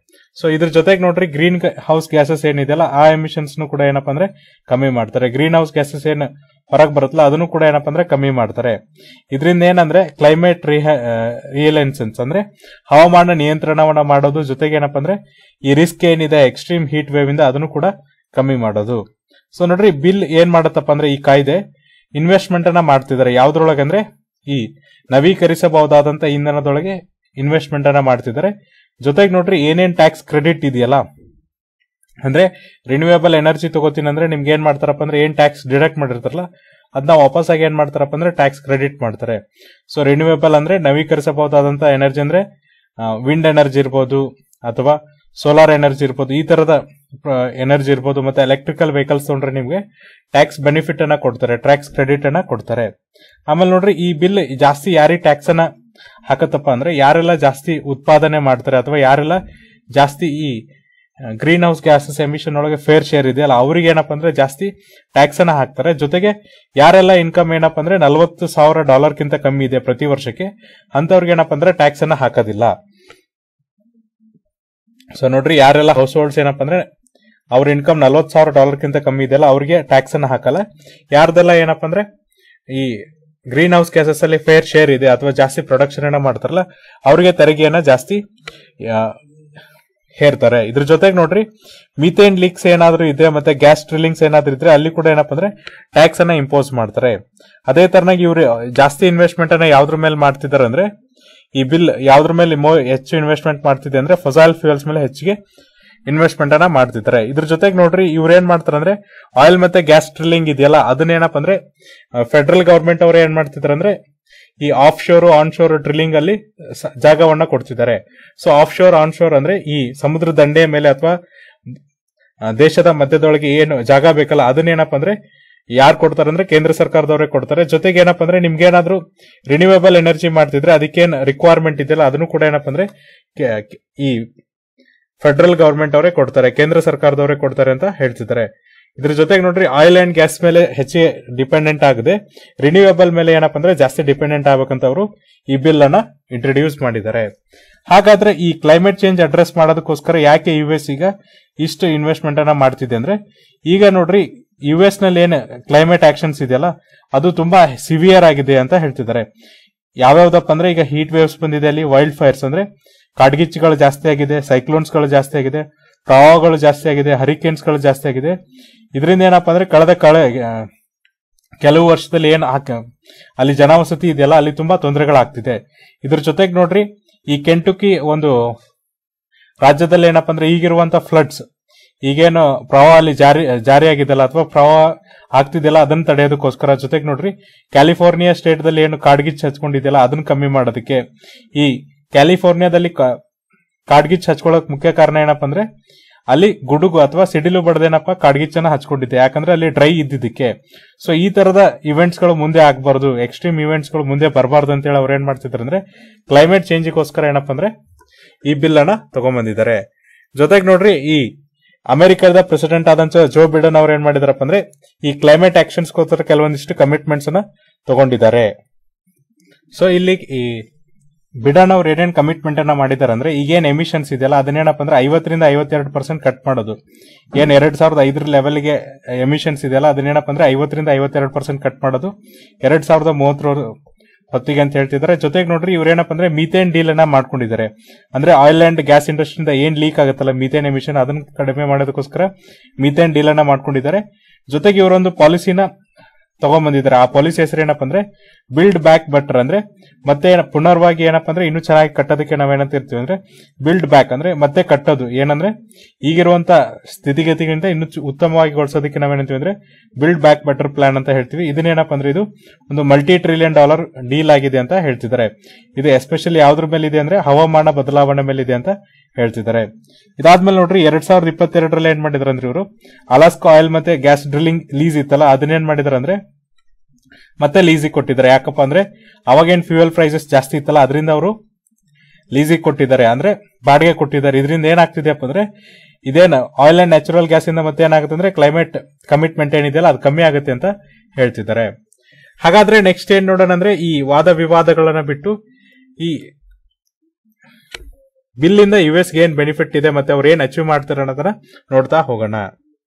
ಇಲ್ಲಿ ಯು ಎಸ್ಗೆ ಏನೇನ್ ಅಚೀವ್ ಮಾಡಕ್ಕಾಗುತ್ತೆ ಕ್ಲೈಮೇಟ್ ಚೇಂಜ್ ಇಂದ ಅಂತಂದ್ರೆ ಸೊ ನೋಡ್ರಿ ಅಕಾರ್ಡಿಂಗ್ ಟು ಒಂದು ಎಸ್ಟಿಮೇಟ್ ಪ್ರಕಾರ, ಯಾವ್ದಪ್ಪ ಅಂದ್ರೆ ರೋಡಿಯಂ ಗ್ರೂಪ್ ಏನೇ ಇದೆಯಲ್ಲ, ಅವ್ರ ಎಸ್ಟಿಮೇಟ್ ಪ್ರಕಾರ ಏನಪ್ಪ ಅಂದ್ರೆ, ಈ ಕಾನೂನಿಂದ ಏನಾಗತ್ತಪ್ಪ ಅಂದ್ರೆ, ಎರಡ್ ಸಾವಿರದ ಮೂವತ್ತರ ಹೊತ್ತಿಗೆ ಇವರು ಗ್ರೀನ್ ಹೌಸ್ ಗ್ಯಾಸಸ್ ರಿಡಕ್ಷನ್ ಮಾಡ್ಬೇಕಂತಿದ್ರಲ್ಲ ಅದೇನಪ್ಪ ಅಂದ್ರೆ ಮೂವತ್ತೊಂದರಿಂದ ನಲವತ್ನಾಲ್ಕು ಪರ್ಸೆಂಟ್ ಇರುತ್ತೆ ಅಂತ ಹೇಳ್ತಿದ್ದಾರೆ. ಜೊತೆಗೆ ನೋಡ್ರಿ ಯು ಎಸ್ ಅಂದ್ರೆ ಯುನೈಟೆಡ್ ಸ್ಟೇಟ್ಸ್ ಏನ್ ಮಾಡ್ಬೋದಪ್ಪ ಅಂದ್ರೆ ಈಗ ಚೈನಾ ಜೊತೆಗೆ ಕಾಂಪಿಟೇಷನ್ ಮಾಡ್ಬೋದು. ಯಾವ್ದ್ರೊಳಗಂದ್ರೆ ರಿನ್ಯೂವೇಬಲ್ ಪ್ರೊಡಕ್ಷನ್ಸ್ ಅಂದ್ರೆ ನವೀಕರಿಸಬಹುದಾದಂತಹ ಸಾಧನಗಳೇನಿದೆಯಲ್ಲ, ಅದ್ರೊಳಗೆ ಕಾಂಪಿಟೇಷನ್ ಅನ್ನ ಕೊಡಬಹುದು ಯಾಕಂದ್ರೆ ಈಗ ಚೈನಾ ಒಂದೇ ಏನ್ ಮಾಡತ್ತಪ್ಪ ಅಂದ್ರೆ ಸೋಲಾರ್ ಎನರ್ಜಿಗೆ ಬೇಕಾದಂತ ಇಕ್ವಿಪ್ಮೆಂಟ್ ಅನ್ನ ಉತ್ಪಾದನೆ ಮಾಡುತ್ತೆ. ಅದರೊಳಗೆ ಏನಪ್ಪ ಅಂದ್ರೆ ಈಗ ಅಮೆರಿಕನು ಕೂಡ ಬರ್ಬೋದು ಅಂತ ಹೇಳ್ತಿದ್ದಾರೆ. ಇದರಿಂದ ಏನಾಗುತ್ತೆ ಅಂದ್ರೆ ಸ್ಥಳೀಯವಾಗಿ ಕೆಲಸಗಳು ಕೂಡ ಬರುತ್ತೆ. ಇದಾದ್ಮೇಲೆ ನೋಡ್ರಿ, ಈ ಬಿಲ್ ಏನಿದೆಯಲ್ಲ ಕ್ಲೈಮೇಟ್ ಆಕ್ಷನ್ಸ್ಗೆ ಒಂದು ಟರ್ನಿಂಗ್ ಪಾಯಿಂಟ್ ಅಂತ ಹೇಳ್ಬೋದು. ಯಾಕಂದ್ರೆ ನಾವು ಜಾಗತಿಕವಾಗಿ ನೋಡೋದಾದ್ರೆ ಯು ಎಸ್ ಗವರ್ಮೆಂಟ್ ಏನಿದೆಯಲ್ಲ ಯು ಎಸ್ ಏನಿದೆಯಲ್ಲ, ಅದೇನಪ್ಪ ಅಂದ್ರೆ ಹೆಚ್ಚು ಗ್ರೀನ್ ಹೌಸ್ ಗ್ಯಾಸಸ್ ಅನ್ನ ರಿಲೀಸ್ ಮಾಡುತ್ತೆ. ಅದೇ ತರನಾಗಿ ಈ ಬಿಲ್ ಅಲ್ಲಿ ಏನಪ್ಪ ಅಂದ್ರೆ ಯಾವ ತರನಾಗಿ ನಾವು ಗ್ಲೋಬಲ್ ಫೈನಾನ್ಸ್ ಅನ್ನ ಮಾಡಬೇಕು. ಕ್ಲೈಮೇಟ್ ಫೈನಾನ್ಸ್ ಅಂದ್ರೆ ಡೆವಲಪಿಂಗ್ ಕಂಟ್ರೀಸ್ಗೆ ನಾವು ಯಾವ ತರನಾಗಿ ಸಪೋರ್ಟ್ ಅನ್ನ ಮಾಡಿ ಕ್ಲೈಮೇಟ್ ಚೇಂಜ್ ಅನ್ನ ನಿಲ್ಲಿಸಬೇಕು ಅನ್ನೋದನ್ನ ಏನ್ ಹೇಳಿಲ್ಲ. ಸೊ ಅದೊಂದು ಏನಪ್ಪ ಅಂದ್ರೆ ಇದೊಂದು ಡ್ರಾಬ್ಯಾಕ್ ಇದೇನಪ್ಪ ಅಂದ್ರೆ ಕ್ಲೈಮೇಟ್ ಟಾರ್ಗೆಟ್ ಏನಿದೆಯಲ್ಲ ಅಚೀವ್ ಮಾಡಕ್ಕೆ ಅನುಕೂಲ ಮಾಡಿಕೊಡುತ್ತೆ. ಸೊ ನೋಡ್ರಿ ಆಕ್ಚುಲಿ ಪ್ಯಾರಿಸ್ ಅಗ್ರಿಮೆಂಟ್ ಪ್ರಕಾರ ಏನಪ್ಪ ಅಂದ್ರೆ ಆರ್ಟಿಕಲ್ ಟೂ ಏನ್ ಹೇಳುತ್ತಂದ್ರೆ ನಾವು ಈ ಟೆಂಪರೇಚರ್ ಏನಿದೆಯಲ್ಲ ಅದನ್ನೇನಪ್ಪ ಅಂದ್ರೆ ಬಿಲೋ ಟೂ ಡಿಗ್ರಿ ಸೆಲ್ಸಿಯಸ್ ತರಬೇಕು ಈ ಸೆಂಚುರಿ ಹಂತಕ್ಕೆ. ಅಂದ್ರೆ ಎರಡ್ ಸಾವಿರದ ಒನ್ನೂರ ಹಂತಕ್ಕೆ, ಎರಡ್ ಸಾವಿರದ ಒನ್ನೂರವರೆಗೂ ಏನಪ್ಪ ಅಂದ್ರೆ ಟೆಂಪರೇಚರ್ ಅನ್ನ ಪ್ರೀ ಇಂಡಸ್ಟ್ರಿಯಲ್ ಲೆವೆಲ್ ಏನಿರುತ್ತಲ್ಲ ಅಲ್ಲಿಗೆ ತರಬೇಕು two point two degree Celsius ಅಂತ ಹೇಳ್ತಿದ್ದಾರೆ. ಅದಕ್ಕೆ ಕಮಿಟ್ಮೆಂಟ್ ಹೆಲ್ಪ್ ಆಗುತ್ತೆ ಅಂತ ಹೇಳ್ತಿದ್ದಾರೆ. ಈ ಬಿಲ್ಲಿಂದ ಅಂತೊಂದು ಏನು ಹಿಸ್ಟಾರಿಕಲ್ ಅಡ್ರೆಸ್ ಆಗಲ್ಲ ಬಟ್ ಏನಪ್ಪ ಅಂದ್ರೆ ಯು ಎಸ್ ಎ ಜಾಸ್ತಿ ಗ್ರೀನ್ ಔಟ್ ಗ್ಯಾಸಸ್ ಎಮಿಷನ್ ಮಾಡೋದ್ರಿಂದ ಇದೊಂದು ಬೆಂಚ್ ಮಾರ್ಕ್ ಅಂತ ಹೇಳ್ಬೋದು. ಹಾಗಾದ್ರೆ ಯು ಎಸ್ ಗವರ್ಮೆಂಟ್ ಒಂದೇ ಈ ತರದ ಅನೌನ್ಸ್ಮೆಂಟ್ ಅನ್ನ ಮಾಡಿದೆ, ಬೇರೆ ಸರ್ಕಾರಗಳನ್ನು ಮಾಡಿದೆ ಅಂತಂದ್ರೆ. ಸೊ ನೋಡ್ರಿ, ಮೇ ಎರಡ್ ಸಾವಿರದ ಇಪ್ಪತ್ತೆರಡರಲ್ಲಿ ಏನಪ್ಪ ಅಂದ್ರೆ ಜಪಾನ್ ಕೂಡ ಒಂದು ಅನೌನ್ಸ್ಮೆಂಟ್ ಅನ್ನ ಮಾಡಿದ್ದು. ಏನಂದ್ರೆ ಇನ್ವೆಸ್ಟ್ ಇನ್ ಕಿಸಿಡಿಯಾ ಕಿಸಿಡಿಯಾ ಪ್ಲಾನ್ ಅಂತ. ಇದೇನಪ್ಪ ಅಂದ್ರೆ ಈಗ one point one trillion dollar ಅನ್ನ ಇದರಲ್ಲಿ ಇನ್ವೆಸ್ಟ್ಮೆಂಟ್ ಮಾಡ್ತಿದ್ದಾರೆ. ಇದರಿಂದ ಜಪಾನ ಜಪನೀಸ್ ಎಕಾನಮಿ ಅಂದ್ರೆ ಜಪಾನದ ಏನು ಆರ್ಥಿಕತೆ ಇದೆಯಲ್ಲ ಅದು ಅಭಿವೃದ್ಧಿ ಆಗುತ್ತೆ ಅಂತ ಹೇಳ್ತಿದ್ದಾರೆ. ಈ ಪ್ಲಾನ್ ಪ್ರಕಾರ ಏನಪ್ಪ ಅಂದ್ರೆ, ಕಂಪ್, ಈಗ ಜಪಾನ್ ದೇಶ ಏನ್ ಮಾಡುತ್ತಂದ್ರೆ ಕ್ಲೀನ್ ಎನರ್ಜಿ ಕಡೆಗೆ ಜಾಸ್ತಿ ಮುಖ ಮಾಡುತ್ತೆ. ಅವ್ರೇನ್ ಮಾಡ್ತಾರಪ್ಪ ಅಂದ್ರೆ ಎರಡ್ ಸಾವಿರದ ಮೂವತ್ತರ ಹೊತ್ತಿಗೆ ಎಷ್ಟು ಗ್ರೀನ್ ಹೌಸ್ ಗ್ಯಾಸ್ ಎಮಿಷನ್ ಅನ್ನ ಕಡಿಮೆ ಮಾಡ್ಬೇಕಂತ ಮಾಡಿದಾರೆ ನಲವತ್ತಾರು percent greenhouse gases emission ಅನ್ನ ಕಡಿಮೆ ಮಾಡ್ಬೇಕಂತ ಮಾಡಿದ್ದಾರೆ ಇದೇ ತರ ನೋಡ್ರಿ, ಜೂನ್ ಎರಡ್ ಸಾವಿರದ ಇಪ್ಪತ್ತೊಂದರಲ್ಲಿ ಏನಪ್ಪ ಅಂದ್ರೆ ಯುರೋಪಿಯನ್ ಯೂನಿಯನ್ ಕೂಡ ಒಂದು ಸಿಮಿಲರ್ ಫ್ಯಾನ್ ಪ್ರಪೋಸಲ್ ಅನ್ನ ಇಟ್ಟಿತ್ತು. ಅದೇನಪ್ಪ ಅಂದ್ರೆ ಫಿಟ್ ಫಾರ್ ಫಿಫ್ಟಿ ಫೈವ್ ಅಂತ. ಇದ್ರೊಳಗೆ ಏನಪ್ಪ ಅಂದ್ರೆ ಗ್ರೀನ್ ಹೌಸ್ ಗ್ಯಾಸಸ್ ಏನಿದೆಯಲ್ಲ, ಅದನ್ನ ಫಿಫ್ಟಿ ಫೈವ್ ಪರ್ಸೆಂಟೇಜ್ ರೆಡ್ಯೂಸ್ ಮಾಡೋದು ಎರಡ್ ಸಾವಿರದ ಮೂವತ್ತರ ಹೊತ್ತಿಗೆ ಸೊ ನೋಡ್ರಿ, ಈಗ ಜಾಗತಿಕವಾಗಿ ಯುರೋಪಿಯನ್ ಯೂನಿಯನ್ ಇರ್ಬೋದು ಅಥವಾ ಯು ಎಸ್ ಇರ್ಬೋದು ಲಾರ್ಜೆಸ್ಟ್ ಏನಪ್ಪ ಅಂದ್ರೆ ಇವರು ಗ್ರೀನ್ ಗ್ರೀನ್ ಗ್ಯಾಸ್ ಎಮಿಷನ್ ಮಾಡೋರು. ಹಾಗಾಗಿ ಇವ್ರ ಕಾನೂನುಗಳನ್ನ ತಂದ್ರೆ ಗ್ರೀನ್ ಗ್ಯಾಸ್ ಎಮಿಷನ್ಸ್ ಕಡಿಮೆ ಆಗ್ತಾ ಆಗ್ತಾ ಹೊಗೆ ಹೊರಗೆ ಬರೋದು ಕಮ್ಮಿ ಆಗ್ತಾ ಆಗ್ತಾ ಏನಪ್ಪ ಅಂದ್ರೆ ವರ್ಲ್ಡ್ ಅಲ್ಲಿ ಕೂಡ ನಾವೇನ್ ಮಾಡ್ಬೋದು ಅಂದ್ರೆ ಅಚೀವ್ಮೆಂಟ್ ಅನ್ನ ಮಾಡಬಹುದು ಅಂತ ಹೇಳ್ತಿದ್ದಾರೆ. ಸೊ ನೆಕ್ಸ್ಟ್ ಆರ್ಟಿಕಲ್ ಏನಿದೆ ನೋಡ್ರಿ. ನೆಕ್ಸ್ಟ್ ಆರ್ಟಿಕಲ್ ಇರೋದು ಜಿ ಟ್ವೆಂಟಿ ಸಮಿಟ್ ಮೇಲೆ ಇರೋದು new global vision of G twenty ಅಂದ್ರೆ ಹೊಸದಾಗಿ ಏನು, ಜಾಗತಿಕವಾಗಿ ಏನು ದೃಷ್ಟಿಕೋನ ಇಟ್ಕೊಂಡಿದೆ ಜಿ ಟ್ವೆಂಟಿ ಅದನ್ನ ಡಿಸ್ಕಷನ್ ಮಾಡ್ತಿದ್ದಾರೆ. ಸೊ ನೋಡ್ರಿ ಇಂಡಿಯಾ ಏನಿದೆಯಲ್ಲ ಜಿ ಟ್ವೆಂಟಿಲಿ ತಂದೇನು ರೋಲ್ ಇದೆ. ತಾನೇನ್ ಪಾರ್ಟಿಸಿಪೇಟ್ ಮಾಡ್ಬೇಕು ಅಥವಾ ಏನಕ್ಕೆ ಪ್ರಮೋಷನ್ ಅನ್ನ ಮಾಡ್ತಿದೆ ಅನ್ನೋದನ್ನ ಕ್ಲಿಯರ್ ಆಗಿ ತೋರಿಸಿದೆ. ಜೊತೆಗೆ ಟೈಮು ಮತ್ತೆ ಥೀಮ್ಸ್ ಅದೇನಿದೆ, ಯಾವ ತರ ವಿಷನ್ ಇರ್ಬೇಕು ಅನ್ನೋದನ್ನ ಇಂಡಿಯಾ ಕ್ಲಿಯರ್ ಆಗಿ ಹೇಳ್ತಿದೆ ಅಂತ ಹೇಳ್ತಿದ್ದಾರೆ. ಸೊ ನೋಡ್ರಿ ಜಿ ಟ್ವೆಂಟಿ ಅನ್ನೋದೇನಪ್ಪ ಅಂದ್ರೆ ತುಂಬಾ ಒಂದು ಇಂಪಾರ್ಟೆಂಟ್ ರೋಲ್ ಅನ್ನ ಫಾರ್ಮ್ ಮಾಡುತ್ತೆ. ಯಾವ್ದ್ರೊಳಗೆ ಅಂದ್ರೆ ಈಗ ಹೊಸದಾಗಿ ಬರುವಂತ ಎಕಾನಮಿನ ಶೇಪ್ ಮಾಡೋದಿರ್ಲಿ, ಅಥವಾ ಅದನ್ನ ಇನ್ನೂ ಭದ್ರಪಡಿಸೋದ್ರಲ್ಲಿ ಏನಪ್ಪ ಅಂದ್ರೆ ಜಿ ಟ್ವೆಂಟಿ ತುಂಬಾ ಉಪಯುಕ್ತವಾಗಿದೆ ಅಥವಾ ಇಂಪಾರ್ಟೆಂಟ್ ಆಗಿದೆ ಅಂತ ಹೇಳ್ತಿದ್ದಾರೆ. ಸೊ ನೋಡ್ರಿ, ಈಗ ಜಾಗತಿಕವಾಗಿ ಅಭಿವೃದ್ಧಿ ಆಗ್ಬೇಕಾದ್ರೆ ನಾವೇನಪ್ಪ ಅಂದ್ರೆ ಒಬ್ಬರ ಮೇಲೆ ಒಬ್ರು ಇಂಟರ್ ಡಿಪೆಂಡೆಂಟ್ ಆಗಿದ್ದೀವಿ. ಅಂದ್ರೆ ಒಂದೇ ದೇಶ ಇಂಡಿಪೆಂಡೆಂಟ್ ಆಗಿ ಅಭಿವೃದ್ಧಿ ಆಗಕ್ಕಾಗಲ್ಲ ಒಬ್ಬರ ಮೇಲೆ ಒಬ್ರು ಇಂಟರ್ ಡಿಪೆಂಡೆಂಟ್ ಆಗಿದ್ದೀವಿ ಅಂತ ಹೇಳ್ತಿದ್ದಾರೆ. ಜೊತೆಗೆ ನೋಡ್ರಿ, ಇಲ್ಲೇನು ಆರ್ಥಿಕ ಅವಕಾಶಗಳು ಮತ್ತೆ ಚಾಲೆಂಜಸ್ ಏನಿದೆಯಲ್ಲ ಅದೇನಾಗಿದೆ ಅಂದ್ರೆ ಇಂಟರ್ ಲಿಂಕ್ಡ್ ಆಗಿದೆ. ಅಂದ್ರೆ ಈ ಎಕನಾಮಿಕಲ್ ಅಪಾರ್ಚುನಿಟಿ ಆರ್ಥಿಕ ಅವಕಾಶಗಳು ಮತ್ತೆ ಅದ್ರಿಗಿರುವಂತ ಚಾಲೆಂಜಸ್ ಅಂದ್ರೆ ಅದ್ರಿಗಿರುವಂತ ಚಾಲೆಂಜಸ್ ಏನಪ್ಪ ಅಂದ್ರೆ ಒಂದು ಇಂಟರ್ ಲಿಂಕ್ಡ್ ಆಗಿದೆ. ಒಂದನ್ನ ಸಾಲ್ವ್ ಮಾಡಿದ್ರೆ ಇನ್ನೊಂದು ಸಾಲ್ವ್ ಆಗ್ತಾ ಹೋಗುತ್ತೆ ಅಂತ ಹೇಳ್ತಿದ್ದಾರೆ.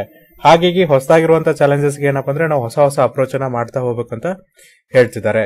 ಇದ್ರ ಜೊತೆಗೆ ನೋಡ್ರಿ ನಮ್ಮ ಮಿನಿಸ್ಟ್ರಿ ಆಫ್ ಎಕ್ಸ್ಟರ್ನಲ್ ಅಫೇರ್ಸ್ ಅವ್ರೇನ್ ಹೇಳ್ತಿದ್ರು ಅಂದ್ರೆ ಅವರ ನೂರ ತೊಂಬತ್ತು ಮೀಟಿಂಗ್ಸ್ ಅಲ್ಲಿ ಏನಪ್ಪ ಅಂದ್ರೆ ಇಂಡಿಯಾ ಏನ್ ಮಾಡ್ತಿದೆ ಅಂದ್ರೆ ಈಗ ಭಾರತ ಎಲ್ಲನೂ ಸ್ಟ್ರೆಂತ್ ಮಾಡ್ತಿದೆ, ಇನ್ನೂ ಕೂಡ ಭದ್ರಗೊಳಿಸ್ತಿದೆ ಇಂಟರ್ನ್ಯಾಷನಲ್ ಸಪೋರ್ಟಿಗೆ ಸಪೋರ್ಟ್ ಅನ್ನ ಏನ್ ಮಾಡ್ತಿದೆಪ್ಪ ಅಂದ್ರೆ ಭದ್ರಗೊಳಿಸ್ತಿದೆ.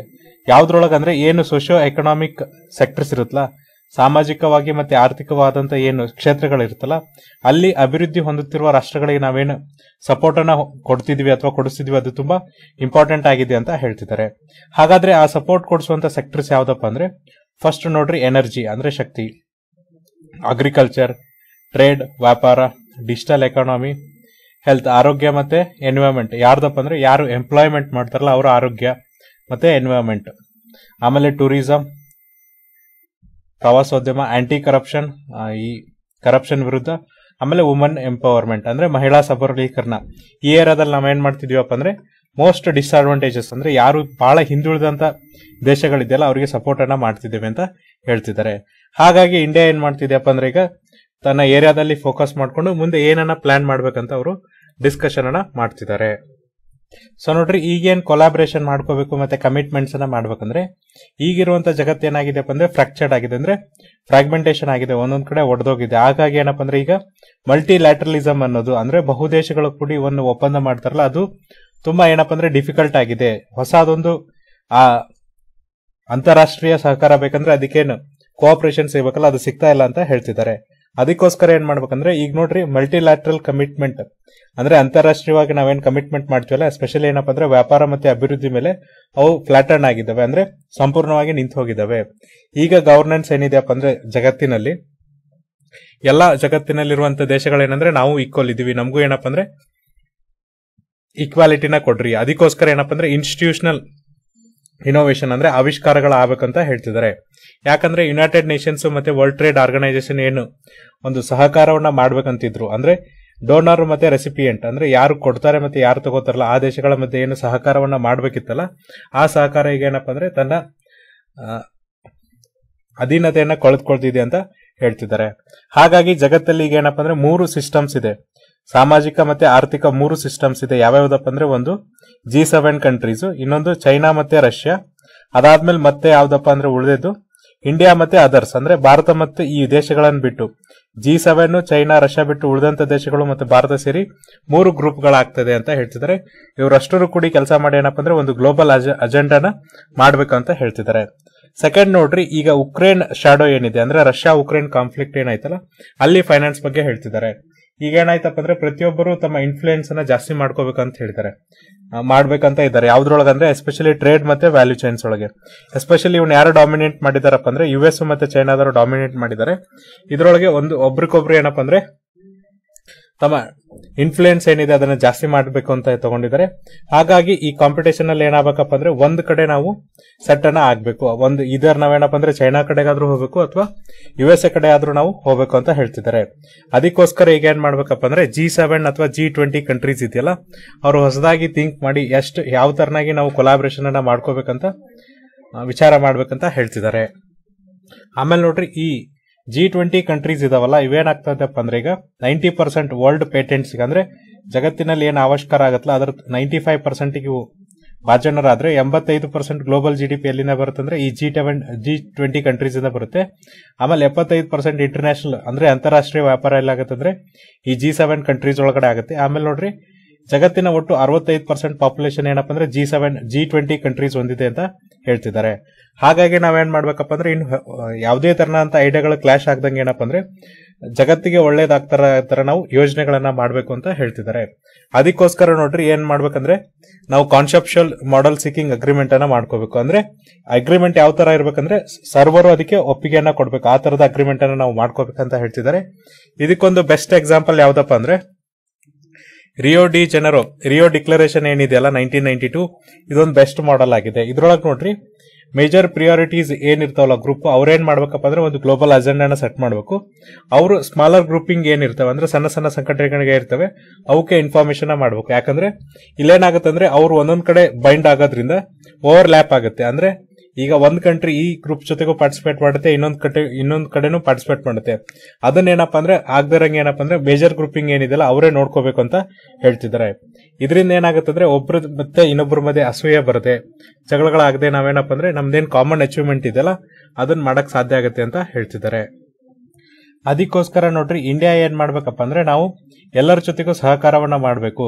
ಕೊಲಾಬ್ರೇಷನ್ ಅಂದ್ರೆ ಸಹಕಾರವನ್ನು ಮಾಡಿಕೊಂಡು ಎಲ್ಲರ ಹತ್ರ ನಾವೇನು ಮಾಡಬೇಕಪ್ಪ ಅಂದ್ರೆ ಸಹಕಾರವನ್ನು ಪಡೀಬೇಕು. ಜೊತೆಗೆ ನಾವು ಯಾವುದ್ರ ಮೇಲೆ ಜಾಸ್ತಿ ಫೋಕಸನ್ನು ಮಾಡಬೇಕಂದ್ರೆ ಸೈನ್ಸ್ ಅಂಡ್ ಟೆಕ್ನಾಲಜಿ ಮೇಲೆ ಫೋಕಸ್ ಮಾಡಿ, ಯಾವ ತರನಾಗಿ ಈ United Nation General Assembly resolution ಇದೆಯಲ್ಲ, ಅದಕ್ಕೆ ಒಪ್ಪಿಗೆ ಆಗೋಂಗೆ ಅಥವಾ ಅದರ ರೆಸೊಲ್ಯೂಷನ್ಗೆ ತಕ್ಕಂತೆ ನಾವೇನಪ್ಪ ಅಂದ್ರೆ ಇನೋವೇಷನ್ ಮಾಡಿ ಪ್ರಾಬ್ಲಮ್ನ ಸಾಲ್ವ್ ಮಾಡ್ಬೇಕಂತ ಹೇಳ್ತಿದ್ದಾರೆ. ಅದಕ್ಕೋಸ್ಕರ ನೋಡ್ರಿ ನಾವೇನ್ ಮಾಡ್ಬೇಕಂದ್ರೆ ಫಸ್ಟ್ ಎಲ್ಲರನ್ನು ಈಕ್ವಲ್ ಆಗಿ ಟ್ರೀಟ್ ಮಾಡಬೇಕು. ನಾವೆಲ್ಲರೂ ಏನಪ್ಪ ಅಂದ್ರೆ ಒಂದೇ ಹಡಗಲ್ಲಿ ಟ್ರಾವೆಲ್ ಮಾಡ್ತಿದ್ವಿ.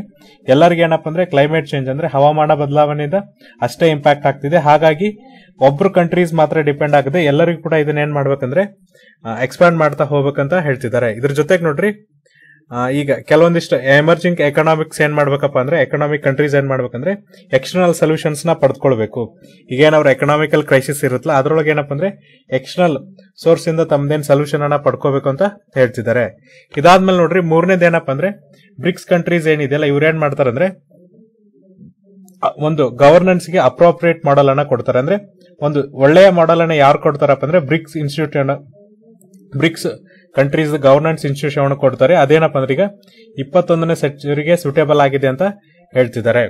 ಇದಾದ್ಮೇಲೆ ನೆಕ್ಸ್ಟ್ ಏನ್ ಹೇಳ್ತಾರಂದ್ರೆ ಸೊ ನೋಡ್ರಿ, ಈಗ ಸ್ಟಾರ್ಟಿಂಗ್ ಪಾಯಿಂಟ್ ನಾವೇನ್ ಮಾಡ್ಬೇಕಪ್ಪ ಅಂದ್ರೆ ಗ್ಲೋಬಲ್ ಕಾನ್ಸೆನ್ಸಸ್ ಅಂದ್ರೆ ಎಲ್ಲರ ಜಾಗತಿಕವಾಗಿ ಎಲ್ಲರ ಒಪ್ಪಿಗೆನ ನಾವು ಪಡೆದುಕೊಳ್ಬೇಕು. ಜೊತೆಗೆ ವಿಯೆನಾ ಡಿಕ್ಲರೇಷನ್ ಏನಿದೆ ಹ್ಯೂಮನ್ ರೈಟ್ಸ್ ಅದನ್ನೇನ್ ಮಾಡ್ಬೇಕಪ್ಪ ಅಂದ್ರೆ ಪ್ರತಿಯೊಬ್ಬರಿಗೂ ಅಪ್ಲೈ ಆಗಂಗೆ ತರಬೇಕಂತ ಹೇಳ್ತಿದ್ದಾರೆ. ಇದ್ರ ಜೊತೆಗೆ ನೋಡ್ರಿ ಈಗೇನಾಗ್ತಿದೆಯಪ್ಪ ಅಂದ್ರೆ ರೆಕಗ್ನೈಸೇಷನ್ ಜಾಸ್ತಿ ಆಗ್ತಿದೆ. ಯಾವ್ದಕ್ಕಂದ್ರೆ ಆರ್ಥಿಕವಾಗಿ ಮತ್ತೆ ಸಾಮಾಜಿಕವಾದಂತ ಏನ್ ಹಕ್ಕುಗಳಿದೆಯಲ್ಲ, ಅದಕ್ಕೆ ರೆಕಗ್ನೈಸೇಷನ್ ಜಾಸ್ತಿ ಆಗ್ತಿದೆ. ಫಾರ್ ಎಕ್ಸಾಂಪಲ್ ಏನಪ್ಪ ಅಂದ್ರೆ ಎರಡ್ ಸಾವಿರದ ಮೂವತ್ತಕ್ಕೆ ನಾವು ಒಂದು ಅಜೆಂಡಾನ ಸೆಟ್ ಮಾಡಿದ್ದಾರೆ ಯಾರಂದ್ರೆ ಸಸ್ಟೈನೇಬಲ್ ಡೆವಲಪ್ಮೆಂಟ್ ಅವರು. ಇವ್ರು ಏನ್ ಹೇಳ್ತಾರಪ್ಪ ಅಂದ್ರೆ ಪ್ರತಿಯೊಬ್ಬರಿಗೂ ಅವರಿಗೆ ಬೇಕಾದಷ್ಟು ಆಹಾರವನ್ನ ಕೊಡಬೇಕು, ಆಮೇಲೆ ಇರೋದಕ್ಕೆ ವಸತಿಯನ್ನ ಕೊಡಬೇಕು, ಅವರ ಶಿಕ್ಷಣವನ್ನ ಒದಗಿಸಬೇಕು, ಆರೋಗ್ಯವನ್ನ ನೋಡ್ಕೋಬೇಕು, ಅವ್ರಿಗೆ ಬೇಕು, ಸಾಕಾಗುವಷ್ಟು ನೀರನ್ನ ಕೊಡಬೇಕು ಸ್ಯಾನಿಟೈಸೇಷನ್ ಅನ್ನ ನೋಡ್ಕೋಬೇಕು. ಸ್ಯಾನಿಟೈಸೇಷನ್ ಅಂದ್ರೆ ನೈರ್ಮಲ್ಯತೆ. ಆಮೇಲೆ ಏನ್ ಅವ್ರಿಗೆ ಕೆಲಸ ಕೊಡ್ಬೇಕಲ್ಲ, ಆ ಕೆಲಸವನ್ನ ಕೊಟ್ಟಾಗ ಮಾತ್ರ ಏನಪ್ಪ ಅಂದ್ರೆ ಇಂಟರ್ನ್ಯಾಷನಲ್ ಕೋಆಪರೇಷನ್ ಮೂಲಕ ಅಂದ್ರೆ ಅಂತಾರಾಷ್ಟ್ರೀಯ ಸಹಕಾರದ ಮೂಲಕ ಕೆಲಸವನ್ನು ಕೊಟ್ಟಾಗ ಮಾತ್ರ ಏನಪ್ಪ ಅಂದ್ರೆ ಎರಡ್ ಸಾವಿರದ ಮೂವತ್ತರ ಸಸ್ಟೈನೇಬಲ್ ಡೆವಲಪ್ಮೆಂಟ್ ಗೋಲ್ ರೀಚ್ ಆಗುತ್ತೆ ಅಂತ ಹೇಳ್ತಿದ್ದಾರೆ. ಹಾಗಾಗಿ ಏನಪ್ಪ ಅಂದ್ರೆ ಕಾಮನ್ ಆಗಿರುವಂತ ಏನು ರೆಸ್ಪಾನ್ಸಿಬಿಲಿಟೀಸ್ ಇದೆಯಲ್ಲ, ಅದು ಎಸ್ಪೆಷಲಿ ಏನಪ್ಪ ಅಂದ್ರೆ ಪ್ರತಿಯೊಬ್ಬರ ಜೀವನದ ಕ್ವಾಲಿಟಿನ ಇಂಪ್ರೂವ್ ಮಾಡೋದು. ಅದನ್ನೇನಪ್ಪ ಅಂದ್ರೆ ಎಲ್ಲರೂ ತಗೊಂಡು ಆ ಸಮಸ್ಯೆನ ಸಾಲ್ವ್ ಮಾಡಬೇಕು. ಅವಾಗ ಮಾತ್ರ ನಾವೇನಪ್ಪ ಅಂದ್ರೆ ಜಾಗತಿಕವಾಗಿರುವಂತ ಪ್ರತಿಯೊಬ್ಬರ ಒಪ್ಪಿಗೆಯನ್ನ ಪಡೆದಂಗ ಆಗುತ್ತೆ ಅಂತ ಹೇಳ್ತಿದ್ದಾರೆ. ಜೊತೆಗೆ ನೋಡ್ರಿ, ಈ ಮಲ್ಟಿಲ್ಯಾಟ್ರಲಿಸಮ್ ಕೂಡ ಏನಪ್ಪ ಅಂದ್ರೆ ಅವಾಗ ಮಾತ್ರ ಸಾಧ್ಯ ಆಗುತ್ತೆ. ಅಂದ್ರೆ ಅಂತಾರಾಷ್ಟ್ರೀಯ ಸಹಕಾರ ಏನಿದೆಯಲ್ಲ, ಅವಾಗ ಮಾತ್ರ ಸಾಧ್ಯ ಆಗುತ್ತೆ. ಎಸ್ಪೆಷಲಿ ಯಾವ್ದಪ್ಪ ಅಂದ್ರೆ ವ್ಯಾಪಾರ ಮತ್ತೆ ಅಭಿವೃದ್ಧಿ ಮೇಲೆ ಅಂತ ಹೇಳ್ತಿದ್ದಾರೆ. ಆಮೇಲೆ ನೋಡ್ರಿ, ಈ ಗ್ಲೋಬಲ್ ಅಜೆಂಡಾ ಏನಿದೆ ಅಂದ್ರೆ ಈಗ ಯಾವ್ದ್ರ ಕಡೆ ಜಾಸ್ತಿ ಶಿಫ್ಟ್ ಆಗ್ತಿದೆ ಅಂದ್ರೆ ಇನ್ವೆಸ್ಟ್ಮೆಂಟ್ ಬಗ್ಗೆ ಶಿಫ್ಟ್ ಆಗ್ತಿದೆ. ಅದರೊಳಗೆ ಸ್ಪೆಷಲ್ ಏನಪ್ಪ ಅಂದ್ರೆ ಸೈನ್ಸ್ ಅಂಡ್ ಟೆಕ್ನಾಲಜಿ ಮೇಲೆ ಜಾಸ್ತಿ ಫೋಕಸ್ ಅನ್ನ ಮಾಡ್ತಿದ್ದಾರೆ. ಮತ್ತೆ ಅವು ಈಗಿನ ಎಕನಾಮಿಕ್ಗೆ ಆರ್ಥಿಕ ಅಭಿವೃದ್ಧಿಗೆ ಏನಪ್ಪ ಅಂದ್ರೆ ಡ್ರೈವಿಂಗ್ ಫೋರ್ಸ್ ಆಗಿದೆ ಅಂತ ಹೇಳ್ತಿದ್ದಾರೆ. ಈಗ ನೋಡ್ರಿ ಸಸ್ಟೈನೇಬಲಿ ನಾವೇನ್ ಮಾಡಿದೀವಪ್ಪ ಅಂದ್ರೆ ಅರ್ಬನೈಸಿಂಗ್ ಮಾಡೋದ್ರಿಂದ ಜಗತ್ತಿನಲ್ಲಿ ಈಗ ಏನಾಗ್ತಿದೆ ಅಂದ್ರೆ ಹೈಡ್ರೋಜನ್ ಎಕಾನಮಿ ಅಂದ್ರೆ ಹೈಡ್ರೋಜನ್ ರಿಲೇಟೆಡ್ ಎಕಾನಮಿನ ಅಪ್ಲೈ ಮಾಡ್ಕೊಂಡಿದ್ದಾರೆ. ಆಮೇಲೆ ನಾವೇನಪ್ಪ ಅಂದ್ರೆ ಈ ಕ್ಲೈಮೇಟ್ ಚೇಂಜಿಗೆ ಚೇಂಜ್ ಆಗುವಂತ ಕ್ರಾಪ್ ವೇರಿಯಂಟ್ಸ್ ಅಂದ್ರೆ ಈ ಹವಾಮಾನದ ಬದಲಾವಣೆಗೆ ಬದಲಾಗುವಂತ ಅಥವಾ ಅದನ್ನ ತಡೆದುಕೊಳ್ಳುವಂತ ಏನು ಬೆಳೆಗಳಿದೆ ಅದನ್ನ ಬೆಳಿತಾ ಇದೀವಿ ಜೊತೆಗೆ ನೋಡ್ರಿ ಇನೋವೇಷನ್ ಇಂದ ಏನಾಗತ್ತಪ್ಪ ಅಂದ್ರೆ ಈ ಮಟೀರಿಯಲ್ ಥಿಂಗ್ಸ್ ಕಮ್ಮಿ ಆಗುತ್ತೆ. ಜೊತೆಗೆ ಏನಪ್ಪ ಅಂದ್ರೆ ಪ್ರೊಡಕ್ಷನ್ ಅಂದ್ರೆ ನಾವೇನು ಉತ್ಪಾದನೆ ಮಾಡ್ತೀವಿ, ಅದು ಕೂಡ ಜಾಸ್ತಿ ಆಗುತ್ತೆ ಕನ್ಸಂಪ್ಷನ್ ಕೂಡ ಜಾಸ್ತಿ ಆಗುತ್ತೆ. ಜೊತೆಗೆ ನೋಡ್ರಿ ನಾವೇನಪ್ಪ ಅಂದ್ರೆ ನವೀಕರಿಸಬಹುದಾದಂತ ಇಂಧನಗಳಿದೆಯಲ್ಲ ಅದ್ರ ಕಡೆಗೆ ಜಾಸ್ತಿ ಫೋಕಸ್ ಅನ್ನ ಮಾಡ್ತೀವಿ. ಇದರಿಂದ ಏನಪ್ಪ ಅಂದ್ರೆ ಏನಾಗ್ತಿದೆ ನೋಡ್ರಿ, ಈ ಪೋಸ್ಟ್ ವಾರ್ ಆದ್ಮೇಲೆ ಏನಪ್ಪ ಅಂದ್ರೆ ಲೈಫ್ ಸ್ಟೈಲ್ ಯಾವ ತರ ಆಯ್ತು ಅಂದ್ರೆ ನಾವು ಅರ್ಬನ್ ಜಾಬ್ಸ್ ಅಲ್ಲಿ ಅಂದ್ರೆ ಈ ಶಹರ ಪಟ್ಟಣಗಳಲ್ಲಿ ಜಾಸ್ತಿ ಏನ್ ಮಾಡಿದ್ವಪ್ಪ ಅಂದ್ರೆ ಫೋಕಸ್ ಮಾಡಿದ್ವಿ. ಎಸ್ಪೆಷಲಿ ಅರ್ಬನ್ ಜಾಬ್ಸ್ ಅಲ್ಲಿ ಯಾವ ಜಾಬ್ ಇರುತ್ತಪ್ಪ ಅಂದ್ರೆ ಸರ್ವಿಸ್ ಸೆಕ್ಟರ್ ಅಲ್ಲಿ ಜಾಬ್ ಇರುತ್ತೆ ಮತ್ತೆ ರಿಟೇಲ್ ಸೆಕ್ಟರ್ ಅಲ್ಲಿ ಜಾಸ್ತಿ ಜಾಬ್ ಇರುತ್ತೆ. ಇದರಿಂದ ನಾವೇನಂದ್ರೆ ಸರ್ವಿಸ್ ಮತ್ತೆ ರಿಟೇಲ್ ಸೆಕ್ಟರ್ಗೆ ಅಡಾಪ್ಟ್ ಆದ್ವಿ. ಇದರಿಂದ ಏನಾಯ್ತಪ್ಪ ಅಂದ್ರೆ ನಮ್ಮ ಪ್ರೊಡಕ್ಟಿವಿಟಿ ಏನಿದೆ ಹೈ ಪ್ರೊಡಕ್ಟಿವಿಟಿ ಏನಿದೆ ಎಸ್ಪೆಷಲಿ ಏನಪ್ಪ ಅಂದ್ರೆ ಮ್ಯಾನುಫ್ಯಾಕ್ಚರಿಂಗ್ ಸೆಕ್ಟರ್ ಅಲ್ಲಿ, ಉತ್ಪಾದನೆ ಸೆಕ್ಟರ್ ಅಲ್ಲಿ ಅದು ಏನಾಯ್ತಪ್ಪ ಅಂದ್ರೆ ಕಳ್ಕೊಂಡ್ವಿ. ಜೊತೆ ಕ್ಲೈಮೇಟ್ ಚೇಂಜ್ ಕೂಡ ನಾವು ಕಾರಣಗಳಾದ್ವಿ ಅಂತ ಹೇಳ್ತಿದ್ದಾರೆ. ಹಾಗೆ ಏನಪ್ಪ ಅಂದ್ರೆ ಒಂದು ಅಂತಾರಾಷ್ಟ್ರೀಯ ಫೋರಂ ಇರಬೇಕು, ಸಮಾವೇಶ. ಅಲ್ಲೇನಪ್ಪ ಅಂದ್ರೆ ಎಲ್ಲಾ ದೇಶದವರು ಪಾರ್ಟಿಸಿಪೇಟ್ ಮಾಡಿ ಒಬ್ಬರ ಒಬ್ಬರದು ಮತ್ತೆ ಇನ್ನೊಬ್ಬರದು ವಿಚಾರ ವಿನಿಮಯಗಳಾಗಬೇಕು. ಜೊತೆಗೆ ಏನಪ್ಪ ಅಂದ್ರೆ ಯಾವ ಆಕ್ಷನ್ ಅನ್ನ ತಗೊಂಡ್ರೆ ಏನಾಗುತ್ತೆ? ಇದ್ರ, ನಿಮ್ಮ ಎಕ್ಸ್ಪೀರಿಯನ್ಸ್ ಏನು, ನಮ್ಮ ಎಕ್ಸ್ಪೀರಿಯನ್ಸ್ ಏನು? ಈ ವಿಚಾರ ವಿನಿಮಯ ಆಗಿ ಹೊಸದಾಗಿ ನಾವೇನಪ್ಪ ಅಂದ್ರೆ ಎಂಪ್ಲಾಯ್ಮೆಂಟ್ ಮತ್ತೆ ಈ ವಾತಾವರಣದ ಮೇಲೆ ಕಾನೂನುಗಳನ್ನ ಮಾಡ್ಬೇಕಂತ ಹೇಳ್ತಿದ್ದಾರೆ. ನೆಕ್ಸ್ಟ್ ನೋಡ್ರಿ ನೆಕ್ಸ್ಟ್ ಏನ್ ಮಾಡ್ಬೇಕಪ್ಪ ಅಂದ್ರೆ ನಾವು ಡಿಜಿಟಲ್ ಇನ್ಫಾರ್ಮೇಶನ್ ಟೆಕ್ನಾಲಜಿನ ಯೂಸ್ ಮಾಡ್ಬೇಕಂದ್ರೆ, ಅಲ್ಲಿ ಏನಿರ್ಬೇಕಂದ್ರೆ, ನಮ್ಮ ಡಿಜಿಟಲ್ ಆಕ್ಸೆಸ್ ಏನಿದೆ, ಅಂದ್ರೆ ಪ್ರತಿಯೊಬ್ಬರಿಗೆ ಎಷ್ಟು ಡಿಜಿಟಲ್ ಆಗಿ ಆಕ್ಸೆಸ್ ಸಿಗುತ್ತಲ್ಲ, ಅದನ್ನ ರೀಡಿಫೈನ್ ಮಾಡಬೇಕು. ಪ್ರತಿಯೊಬ್ಬರಿಗೆ ಏನಪ್ಪ ಅಂದ್ರೆ ಯೂನಿವರ್ಸಲ್ ಸರ್ವಿಸ್ ಇರಬೇಕು. ಇದೇನಂದ್ರೆ, ನಮ್ಮ ದೇಶದ ಬೌಂಡ್ರಿಯನ್ನು ಬಿಟ್ಟು ಹೊರಗಡೆನೂ ಕೂಡ ಹೋಗ್ಬೇಕು. ಇಲ್ಲೇನಾಗಬೇಕಂದ್ರೆ, ನಮ್ಮ ಟೆಕ್ನಾಲಜಿನ ಇನ್ನೊಬ್ರಿಗೆ ಶೇರಿಂಗ್ ಮಾಡಬೇಕು, ಇನ್ನೊಬ್ರು ಟೆಕ್ನಾಲಜಿನ ನಮಗೆ ಶೇರ್ ಮಾಡಬೇಕು. ಅವಾಗ ಮಾತ್ರ ಏನಾಗತ್ತಪ್ಪ ಅಂದ್ರೆ ಓಪನ್ ಆಕ್ಸೆಸ್ ಆಗುತ್ತೆ ಅಂದ್ರೆ ಪ್ರತಿಯೊಬ್ರು ಸಾಫ್ಟ್ವೇರ್ ಅನ್ನ ವಿನಿಮಯ ಮಾಡ್ಕೊಂಡಾಗ ಅಥವಾ ಶೇರ್ ಮಾಡ್ಕೊಂಡಾಗ ಏನಪ್ಪ ಅಂದ್ರೆ ಏನ್ ಟೆಕ್ನಾಲಜೀಸ್ ಇದೆಯಲ್ಲ ಅಲ್ಲೂ ಗೊತ್ತಾಗುತ್ತೆ ಮತ್ತೆ ಇಲ್ಲೂ ಗೊತ್ತಾಗುತ್ತೆ. ಬೆಸ್ಟ್ ಟೆಕ್ನಾಲಜೀಸ್ನ ನಾವೇನ್ ಮಾಡ್ಬೋದಪ್ಪ ಅಂದ್ರೆ ಅಡಾಪ್ಟ್ ಮಾಡ್ಕೋಬಹುದು ಇದರಿಂದ ಏನು ಕ್ಲೈಮೇಟ್ ಚೇಂಜಸ್ ಆಕ್ಷನ್ ಆಗ್ತಿದೆಯಲ್ಲ, ಅದನ್ನು ಕೂಡ ಕಮ್ಮಿ ಮಾಡಿ ನಾವೇನ್ ಕೊಡ್ಬೋದಪ್ಪ ಅಂದ್ರೆ ಗುಡ್ ಗವರ್ನೆನ್ಸ್ ಒಳ್ಳೆ ಆಡಳಿತವನ್ನು ಕೊಡ್ಬೋದು ಜೊತೆಗೆ ಸುಸ್ಥಿರ ಅಭಿವೃದ್ಧಿನೂ ಕೂಡ ನಾವು ಮಾಡಬಹುದು ಅಂತ ಹೇಳ್ತಿದ್ದಾರೆ. ಇದಾದ್ಮೇಲೆ ನೋಡ್ರಿ ನಾಲ್ಕನೇದಾಗ ಏನ್ ಮಾಡ್ಬೇಕಪ್ಪ ಅಂದ್ರೆ ನಾವು ಸ್ಪೇಸ್ ಟೆಕ್ನಾಲಜಿಲಿ ಜಾಸ್ತಿ ಯೂಸಸ್ ಅನ್ನ ತಗೋಬೇಕಂತ ಹೇಳ್ತಿದ್ದಾರೆ. ಫಾರ್ ಆಕ್ಚುಲಿ ನೋಡ್ರಿ ಏನಾಗ್ತಿದೆ ಅಂದ್ರೆ ಈಗ ನಮ್ಮ ಭೂಮಿ ಮೇಲೆ ಹೆಚ್ಚೆಚ್ಚು ಪ್ರವ, ಸಮಸ್ಯೆಗಳು ಬಂದಾಗ ನಾವೇನ್ ಮಾಡ್ತೀವಪ್ಪ ಅಂದ್ರೆ ಸ್ಪೇಸಿಗೆ ಹೋಗಿ ಅಂದ್ರೆ ತುಂಬಾ ದೂರದಲ್ಲಿ ನಿಂತು ಆ ಸಮಸ್ಯೆಗೆ ಏನು ಕಾರಣ ಇದೆ ಅಂತ ನೋಡ್ತೀವಿ. ಹಾಗಾಗಿ ನಾವೇನಪ್ಪ ಅಂದ್ರೆ ಸ್ಪೇಸ್ ಟೆಕ್ನಾಲಜಿನ ನೆಕ್ಸ್ಟ್ ಸೊಲ್ಯೂಷನ್ಗೆ ಯೂಸ್ ಮಾಡಬೇಕು. ಅದ್ರ ಜೊತೆಗೆ ನಮ್ಮವೇನೀಗ ಕೆಲವೊಂದಿಷ್ಟು ಪ್ರಾಬ್ಲಮ್ಸ್ ಇದಾವೆ ಅಂದ್ರೆ ಹವಾಮಾನ ಬದಲಾವಣೆ ಇರ್ಬೋದು, ಅದಕ್ಕೆ ನ್ಯಾಚುರಲ್ ಡಿಸಾಸ್ಟರ್ ಈ ನ್ಯಾಚುರಲ್ ಆಗಿ ಏನು ಡಿಸಾಸ್ಟರ್ ಆಗುತ್ತೆ ಅಂದ್ರೆ ಪ್ರಕೃತಿ ಹಾವಳಿಗಳಿರ್ಬೋದು ಅಥವಾ ಅಗ್ರಿಕಲ್ಚರ್ ಇನೋವೇಷನ್ ಮಾಡೋದಿರ್ಬೋದು ಅಥವಾ ಅರ್ಬನ್ ಇನ್ಫ್ರಾಸ್ಟ್ರಕ್ಚರ್ ಅಂದ್ರೆ ಶಹರ ಪಟ್ಟಣದಲ್ಲಿ ಏನು ನಾವು ಇನ್ಫ್ರಾಸ್ಟ್ರಕ್ಚರ್ ಕೊಡಬೇಕು ಅದನ್ನ ಮಾಡಬಹುದು ಇದನ್ನೇನಪ್ಪ ಅಂದ್ರೆ ಅರ್ತ್ ಅಬ್ಸರ್ವೇಷನ್ ಡಾಟಾ ಅಂದ್ರೆ ಸ್ಯಾಟಲೈಟ್ ಅನ್ನ ದೂರದಿಂದ ಫೋಕಸ್ ಮಾಡಿ ನೋಡೋದ್ರಿಂದ ಇದಕ್ಕೇನು ಸೊಲ್ಯೂಷನ್ ಸಿಗುತ್ತಲ್ಲ ಆ ಸೊಲ್ಯೂಷನ್ ಅಡಾಪ್ಟ್ ಮಾಡ್ಕೋಬೇಕು. ಆಮೇಲೆ ಇದು ಒಬ್ಬರಿಂದ ಮಾತ್ರ ಸಾಧ್ಯ ಆಗಲ್ಲ. ಈ ಎಲ್ಲಾ ದೇಶಗಳು ಏನಪ್ಪ ಅಂದ್ರೆ ಒಬ್ರಿಗೊಬ್ರು ಕೋಆಪರೇಷನ್ ಅಂದ್ರೆ ಸಹಕಾರ ಕೊಟ್ಟು ಮಾಡ್ದಕ್ ಮಾತ್ರ ಆಗುತ್ತೆ. ಜೊತೆಗೆ ನೋಡ್ರಿ ನಮ್ಮಲ್ಲಿರುವಂತಹ ಹೊಸ ಹೊಸ ಟೆಕ್ನಾಲಜಿ ಆದಂತ ಆರ್ಟಿಫಿಷಿಯಲ್ ಇಂಟೆಲಿಜೆನ್ಸ್ ಮತ್ತೆ ಮಷಿನ್ ಲರ್ನಿಂಗ್ ಅನ್ನು ಯೂಸ್ ಮಾಡ್ಕೋಬೇಕಂತ ಹೇಳ್ತಿದ್ದಾರೆ. ಅವಾಗ ಮಾತ್ರ ಏನಪ್ಪ ಅಂದ್ರೆ ನಮಗೆ ಈ ಯೋಜನೆನ ಇನ್ನೂ ಕೂಡ ರ್ಯಾಪಿಡ್ ಆಗಿ ನಾವೇನ್ ಮಾಡ್ಬೋದು ಅಂದ್ರೆ ಇಂಪ್ಲಿಮೆಂಟ್ ಅನ್ನ ಮಾಡ್ಬೋದು. ಜೊತೆಗೆ ನೋಡ್ರಿ, ಪ್ರತಿಯೊಬ್ಬರಿಗೆ ಏನಪ್ಪ ಅಂದ್ರೆ ಈ ಜಿಯೋ ಸ್ಪೇಷಿಯಲ್ ಡಾಟಾ ಏನಿದೆಯಲ್ಲ ಇದನ್ನ ಕೊಡೋದ್ರಿಂದ ನಮ್ಗೆ ಏನಾಗುತ್ತಂದ್ರೆ ಅವ್ರಿಗೇನ್ ಬೆನಿಫಿಟ್ಸ್ ಇದೆ, ಅದರಿಂದ ಏನ್ ಸೊಲ್ಯೂಷನ್ ಇದೆ, ಅದನ್ನ ಎಲ್ಲರೂ ಕೂಡ ಅಡಾಪ್ಟ್ ಮಾಡ್ಕೋತಾರೆ ಅಂತ ಹೇಳ್ತಿದ್ದಾರೆ. ಸೊ ಐದನೇದ ಏನಪ್ಪ ಅಂದ್ರೆ, ಈಗ ಕೋವಿಡ್ ನೈನ್ಟೀನ್ ಪ್ಯಾಂಡಮಿಕ್ ಬಂದಾಗ ನಮಗೆ ಗೊತ್ತಾಯ್ತು, ಈಗಿರುವಂತ ಎಕನಾಮಿ ಏನಿದೆಯಪ್ಪ ಅಂದ್ರೆ ಡಿಸೀಸ್ ರಿಲೇಟೆಡ್ ಅಂದ್ರೆ, ಒಂದು ಯಾವ್ದಾದ್ರು ರೋಗ ಬಂದ್ಬಿಟ್ರೆ ಸಾಕು ಎಕನಾಮಿಕ್ ಎಫೆಕ್ಟ್ ಆಗುತ್ತೆ ಅಂತ ಗೊತ್ತಾಯ್ತು. ಹಾಗಾಗಿ ಮೇಜರ್ ಚಾಲೆಂಜ್ ಏನಪ್ಪ ಅಂದ್ರೆ ಈಗ ರ್ಯಾಪಿಡ್ ಆಗಿ ಏನಾಗ್ತಿದೆ ಅಂದ್ರೆ ಆಂಟಿ ಮೈಕ್ರೋಬಿಯಲ್ ರೆಸಿಸ್ಟೆನ್ಸ್ ಬರ್ತಿದೆ. ಅಂದ್ರೆ ನೀವೇನೇ ಮಾತ್ರೆ ತಗೊಂಡ್ರು ಅದಕ್ಕೆ ರೆಸಿಸ್ಟೆನ್ಸ್ ಬರ್ತಿದೆ. ಅದಕ್ಕೋಸ್ಕರ ಏನಪ್ಪ ಅಂದ್ರೆ ಇನ್ನೂ ಹೆಚ್ಚು ಹೆಚ್ಚು ಇನೋವೇಷನ್ಸ್ ಮಾಡಿ ಹೈಯರ್ ಆಂಟಿಬಯೋಟಿಕ್ಸ್ ಅನ್ನ ಕಂಡುಹಿಡಬೇಕು ಮತ್ತೆ ಅದನ್ನ ಜಗತ್ತಿಗೆ ಕೊಡಬೇಕು. ಅವಾಗ ಏನಪ್ಪ ಅಂದ್ರೆ ನಮ್ದು ಮುಂದಿರುವಂತ ಫ್ಯೂಚರ್ ಜಿ ಟ್ವೆಂಟಿ ಬರುತ್ತೆ ಅಂತ ಅವರು ಹೇಳ್ತಿದ್ದಾರೆ. ಸೊ ನೋಡ್ರಿ ನೆಕ್ಸ್ಟ್ ಆರ್ಟಿಕಲ್ ಏನಿದೆ ಅಂದ್ರೆ next article the grammar of V I P security ಅಂದ್ರೆ ವಿ ಐ ಪಿ ಸೆಕ್ಯೂರಿಟಿ ಯಾವ ತರ ಇರುತ್ತೆ ಅಂತ ಇಲ್ಲಿ ಹೇಳ್ತಿದ್ದಾರೆ. ಇದನ್ನ ಬರ್ದವರು ಈ ದಾಮೋದರ್, ಇವರು ಏನಪ್ಪ ಅಂದ್ರೆ ಐ ಪಿ ಎಸ್ ಆಫೀಸರ್ ಈಗೇನ್ ರೀಸೆಂಟ್ ಆಗಿ ಅಸಾಸಿಯೇಷನ್ ಆಯ್ತಲ್ಲ, ಯಾರಪ್ಪ ಅಂದ್ರೆ ಸಿನೋಬೆ ಅಬೆ ಇರ್ಬೋದು, ನಮ್ಮ ರಾಜೀವ್ ಗಾಂಧಿ ಅವರ ಅಸಾಸಿಯೇಷನ್ ತಗೊಂಡು ಅಸಾಸಿನೇಷನ್ ಅಂದ್ರೆ ಹತ್ಯೆ ಆಯ್ತಲ್ಲ, ಅದನ್ನ ತಗೊಂಡು ಏನಪ್ಪ ಅಂದ್ರೆ ವಿ ಐ ಪಿ ಸೆಕ್ಯೂರಿಟಿ ಅಂದ್ರೆ ಯಾವ ತರನಾಗಿರ್ಬೇಕು ಏನ್ ಮಾಡ್ಬೇಕು ಅನ್ನೋದೆಲ್ಲ ಹೇಳ್ತಿದ್ದಾರೆ. ಸೊ ನೋಡ್ರಿ, ಅವರು ಪ್ಯಾರಲ್ ಆಗಿ ಡ್ರಾ ಮಾಡ್ತಿದ್ದಾರೆ. ಏನಪ್ಪ ಅಂದ್ರೆ ಸಿನೋಜ ಅಬೆ ಏನು? Former prime minister of Japan ಇದ್ರು ಮತ್ತೆ ನಮ್ಮ ರಾಜೀವ್ ಗಾಂಧಿ ಅಸಾಸಿನೇಷನ್ ಹತ್ಯೆಯೊಳಗೆ. ಇಬ್ರು ನೋಡ್ರಿ ಎಲೆಕ್ಷನ್ ಟೈಮ್ ಅಲ್ಲಿ ಕ್ಯಾಂಪೇನ್ ಮಾಡ್ಬೇಕಾರೆ ಅಂದ್ರೆ, ಪ್ರಚಾರ ಮಾಡ್ಬೇಕಾರೆ ಏನಪ್ಪ ಅಂದ್ರೆ ಅಸೋಸಿಯೇಷನ್ ಆಗಿದ್ದು, ಈ ಪ್ರೈಮ್ ಮಿನಿಸ್ಟರ್ ಸಿನೋಜ ಅಬೆನ ಯಾರು ಕೊಂದ್ರಪ್ಪ ಅಂದ್ರೆ ಅಲ್ಲಿರುವಂತ ಒಬ್ಬ ಟೆಸ್ಟುಯ ಯಾಮಗಾಮಿ ಅನ್ನೋರು ಕೊಂದ್ರು. ಇವ್ರೇನಪ್ಪ ಅಂದ್ರೆ ಈ ಸಿನೋಜೋ ಅಬ್ಬೆ ಅವರು ಒಂದು ಅಸೋಸಿಯೇಷನ್ ಒಂದು ಗ್ರೂಪ್ ಜೊತೆಗೆ ಅಸೋಸಿಯೇಷನ್ ಆಗಿದ್ರಲ್ಲ, ಅದ್ರ ವಿರುದ್ಧವಾಗಿ ಹೋರಾಟ ನಡೆಸೋದ್ರಿಂದ ಅವ್ರು ಅವ್ರನ್ನ ಕೊಂದ್ರು. ಪ್ರೊಬಾಬ್ಲಿ ಅದೇನಪ್ಪ ಅಂದ್ರೆ ಒಂದು ಧಾರ್ಮಿಕ ಗ್ರೂಪ್ ಆಗಿದೆ ಅಂತ ಹೇಳ್ತಿದ್ದಾರೆ, ಧಾರ್ಮಿಕ ಗುಂಪಾಗಿದೆ ಅಂತ ಹೇಳ್ತಿದ್ದಾರೆ. ಅದೇ ತರ ನೋಡ್ರಿ, ರಾಜೀವ್ ಗಾಂಧಿನ ಯಾರು ಕೊಂದ್ರು ಅಂದ್ರಪ್ಪ ಅಂದ್ರೆ ಧನು ಒಂದು ಒಂದು ಹೆಣ್ಮಗಳು ಕೊಂದ್ರು. ಇವ್ರೇನಂದ್ರೆ L T T liberation of Tamil tigers Eelam ಏನಿದೆಯಲ್ಲ? Liberation tigers of Tamil Eelam ಅದ್ರದ್ದು ಒಬ್ರು ಆಪರೇಟಿವ್ ಆಗಿದ್ರು. ಇದಾದ್ಮೇಲೆ ನೋಡ್ರಿ ಇಂಡಿಯನ್ ಪೀಸ್ ಇವ್ರನ್ನ ಯಾಕೆ ಕುಂದ್ರಂದ್ರೆ, ನಮ್ಮ ಇಂಡಿಯನ್ ಪೀಸ್ ಕೀಪಿಂಗ್ ಫೋರ್ಸ್ ನಾವೇನ್ ಮತ್ತೆ ಶ್ರೀಲಂಕಾದಲ್ಲಿ ರೀಡಿಪ್ಲಾಯ್ಮೆಂಟ್ ಮಾಡಿದ್ವಲ್ಲ, ಅದರಿಂದ ಏನ್ ಮಾಡಿದ್ರಪ್ಪ ಅಂದ್ರೆ ಇವರು ಸಿಟ್ಟಿಗೆದ್ದು ನಮ್ಮ ರಾಜೀವ್ ಗಾಂಧಿ ಅವರ ಹತ್ಯೆಯನ್ನ ಮಾಡಿದ್ರು ಅಂತ ಹೇಳ್ತಿದ್ದಾರೆ. ಹಾಗಾದ್ರೆ ವಿ ಐ ಪಿ ಸೆಕ್ಯೂರಿಟಿ ಯಾವ ತರ ಇರುತ್ತೆ? ಇದೇನಪ್ಪ ಅಂದ್ರೆ ಡೇ ಟು ಪ್ಲೇಸ್ ಮತ್ತೆ ಟೈಮ್ ಮೇಲೆ ಚೇಂಜ್ ಆಗ್ತಾನೆ ಇರುತ್ತೆ. ಆದ್ರೆ ಇಲ್ಲೇನಂದ್ರೆ ಎರಡು ಪ್ರಿನ್ಸಿಪಲ್ ಮಾತ್ರ ಸೇಮ್ ಆಗಿರುತ್ತೆ. ಇದನ್ನ ಅವ್ರು ಏನಂತ ಕರೀತಾರೆ ಅಂದ್ರೆ grammar of V I P security ಅಂದ್ರೆ ಅದಕ್ಕಿರುವಂತ ಗ್ರಾಮರ್ ಅಂತ ಹೇಳ್ತಾರೆ. ಯಾವೆರಡು ಫೋರ್ಸ್ ಸೇಮ್ ಇರ್ತಾವಪ್ಪ ಅಂದ್ರೆ ಆಂಟಿ ಸಬೋಟೇಜ್ ಚೆಕ್ಸ್ ಮತ್ತೆ ಆಕ್ಸೆಸ್ ಕಂಟ್ರೋಲ್ ನೋಡ್ರಿ ಆಂಟಿ ಸಬೋಟೇಜ್ ಅಂದ್ರೆ ಈಗ ಏನಾದ್ರೂ ಅಲ್ಲಿ ಧ್ವಂಸಗಳು ಅಥವಾ ವಿಧ್ವಂಸಕಾರಿ ಕೃತ್ಯಗಳಾಗ್ತಿದ್ರೆ ಅದನ್ನೇನ್ ಚೆಕ್ ಮಾಡೋದಕ್ಕೆ ಏನಂತ ಕರಿತೀವಿ ಅಂದ್ರೆ ನಾವು ಆಂಟಿ ಸಬೋಟೇಜ್ ಚೆಕ್ಸ್ ಅಂತ ಕರಿತೀವಿ. ಜೊತೆಗೆ ಆಕ್ಸೆಸ್ ಸೆಂಟರ್ ಆಕ್ಸೆಸ್ ಕಂಟ್ರೋಲ್ ಅಂದ್ರೆ, ಆ ವೆನ್ಯೂ ಅಲ್ಲಿ ಯಾರ್ಯಾರು ಇರಬೇಕು ಮತ್ತೆ ಯಾರ ಪ್ರೆಸೆನ್ಸ್ ಇರಬೇಕು, ಯಾರ ಈ ವಿ ಐ ಪಿ ಹತ್ರ ಬಿಡಬೇಕು, ಅದಕ್ಕೆ ನಾವೇನಂತ ಕರಿತೀವಿ ಅಂದ್ರೆ ಆಕ್ಸೆಸ್ ಕಂಟ್ರೋಲ್ ಅಂತ ಕರಿತೀವಿ.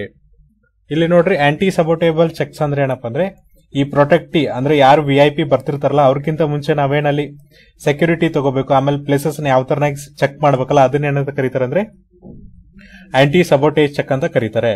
ಇದು ನೋಡ್ರಿ, ಎಲ್ಲ ಎಲ್ಲೇ ಹೋದ್ರು ಕೂಡ ಅದು ಪ್ರಿನ್ಸಿಪಲ್ ಸ್ಟ್ರಿಕ್ಟ್ ಆಗಿರುತ್ತೆ ಅಂತ ಹೇಳ್ತಿದ್ದಾರೆ. ಜೊತೆಗೆ ನೋಡ್ರಿ ಯಾರ್ಯಾರನ್ನೆಲ್ಲ ಬಿಡಬೇಕು ಮತ್ತೆ ಎಷ್ಟು ಸ್ಟೇ ಅವೇರ್ ಇರಬೇಕು ಅಂದ್ರೆ ಏನಾದ್ರೂ ಅಟ್ಯಾಕ್ ಆದಾಗ ಈ ವಿ ಐ ಪಿ ಪರ್ಸನ್ನ ಹೆಂಗ್ ಕಾಪಾಡ್ಕೋಬೇಕು ಅನ್ನೋದು ಮೊದಲೇ ಸ್ಟಡಿ ಮಾಡ್ತಾರೆ. ಇದಕ್ಕೊಂದು ಎಕ್ಸಾಂಪಲ್ ಕೊಡ್ತಾರೆ ನೋಡ್ರಿ. ಯಾವಾಗ ರಾಜೀವ್ ಗಾಂಧಿ ಇಂಟರ್ನ್ಯಾಷನಲ್ ಏರ್ಪೋರ್ಟ್ ಹೈದರಾಬಾದ್ ಅಲ್ಲಿ ಇನಾಗ್ರೇಷನ್ ಇತ್ತು ಅವಾಗ ಚೀಫ್ ಗೆಸ್ಟ್ ಯಾರಿದ್ರಪ್ಪ ಅಂದ್ರೆ ಸೋನಿಯಾ ಗಾಂಧಿ ಇದ್ರು ಮತ್ತೆ ಆಗಿನ ಆಂಧ್ರ ಪ್ರದೇಶದ ಮುಖ್ಯಮಂತ್ರಿ ಆಗಿದ್ರು ಸೊ ನೋಡ್ರಿ, ಅದಕ್ಕಿಂತ ಮುಂಚೆ ಏನಪ್ಪ ಅಂದ್ರೆ ಅಲ್ಲಿ ಒಂದು ಆಂಟಿ ಸಬೋಟೇಜ್ ಸ್ವೀಪ್ಸ್ ಅಂತ ಆಗುತ್ತೆ. Terminal D twelve D six ಮತ್ತೆ ಡಿ ಟೂ ಕಡೆ. ಸೆಕ್ಯೂರಿಟಿ ಅವ್ರು ಏನ್ ಹೇಳ್ತಾರೆ ಅಂದ್ರೆ ಆರ್ಗನೈಸರ್ಗೆ ನೀವು ಏನೇನು ವರ್ಕ್ ಮಾಡ್ತಿದ್ರಲ್ಲ ಡಿ ಟ್ವೆಲ್ ಕಡೆ ನಿಲ್ಲಿಸಬೇಕು ಅಂತ ಹೇಳ್ತಾರೆ. ಅವಾಗ ಏನಪ್ಪ ಅಂದ್ರೆ ರಿಟೈರ್ಡ್ ಆದ retired director general of police ಇರ್ತಾರಲ್ಲ ಅವರು ಜಿ ಎಂ ಆರ್ ಆಗಿರ್ತಾರೆ. ಅವ್ರೇನ್ ಹೇಳ್ತಾರೆ ಅಂದ್ರೆ ಇಲ್ಲ ನಮಗೆ ಬಿಡ್ರಿ ಅಂತಾರೆ. ಬಟ್ ಡಿ ಸಿ ಪಿ ಅವರು ಈ ಜಿ ಎಂ ಆರ್ ಕೆಳಗಡೆ ಕೆಲಸ ಮಾಡಿದ್ರು ಕೂಡ ಏನಪ್ಪ ಅಂದ್ರೆ ಈ ಕೆಲಸ ಮಾಡಿದ್ರು ಕೂಡ ಏನಪ್ಪಾ ಅಂದ್ರೆ ಆಂಟಿ ಸಬೋಟೇಜ್ ವರ್ಕ್ ಏನಿದೆಯಲ್ಲ ಅದನ್ನ ಮಾಡ್ತಾರೆ ಮತ್ತೆ ಅಲ್ಲಿ ಯಾವುದೇ ತರನ ಅಂತ ವರ್ಕ್ ಮಾಡಕ್ಕೆ ಬಿಡಲ್ಲ. ಹಾಗಾಗಿ ಈ ಆಂಟಿ ಸಬೋಟೇಜ್ ವರ್ಕ್ ಇದೆಯಲ್ಲ ಅದು ತುಂಬಾ ಇಂಪಾರ್ಟೆಂಟ್ ಆಗಿರುತ್ತೆ ಅಂತ ಹೇಳ್ತಾರೆ.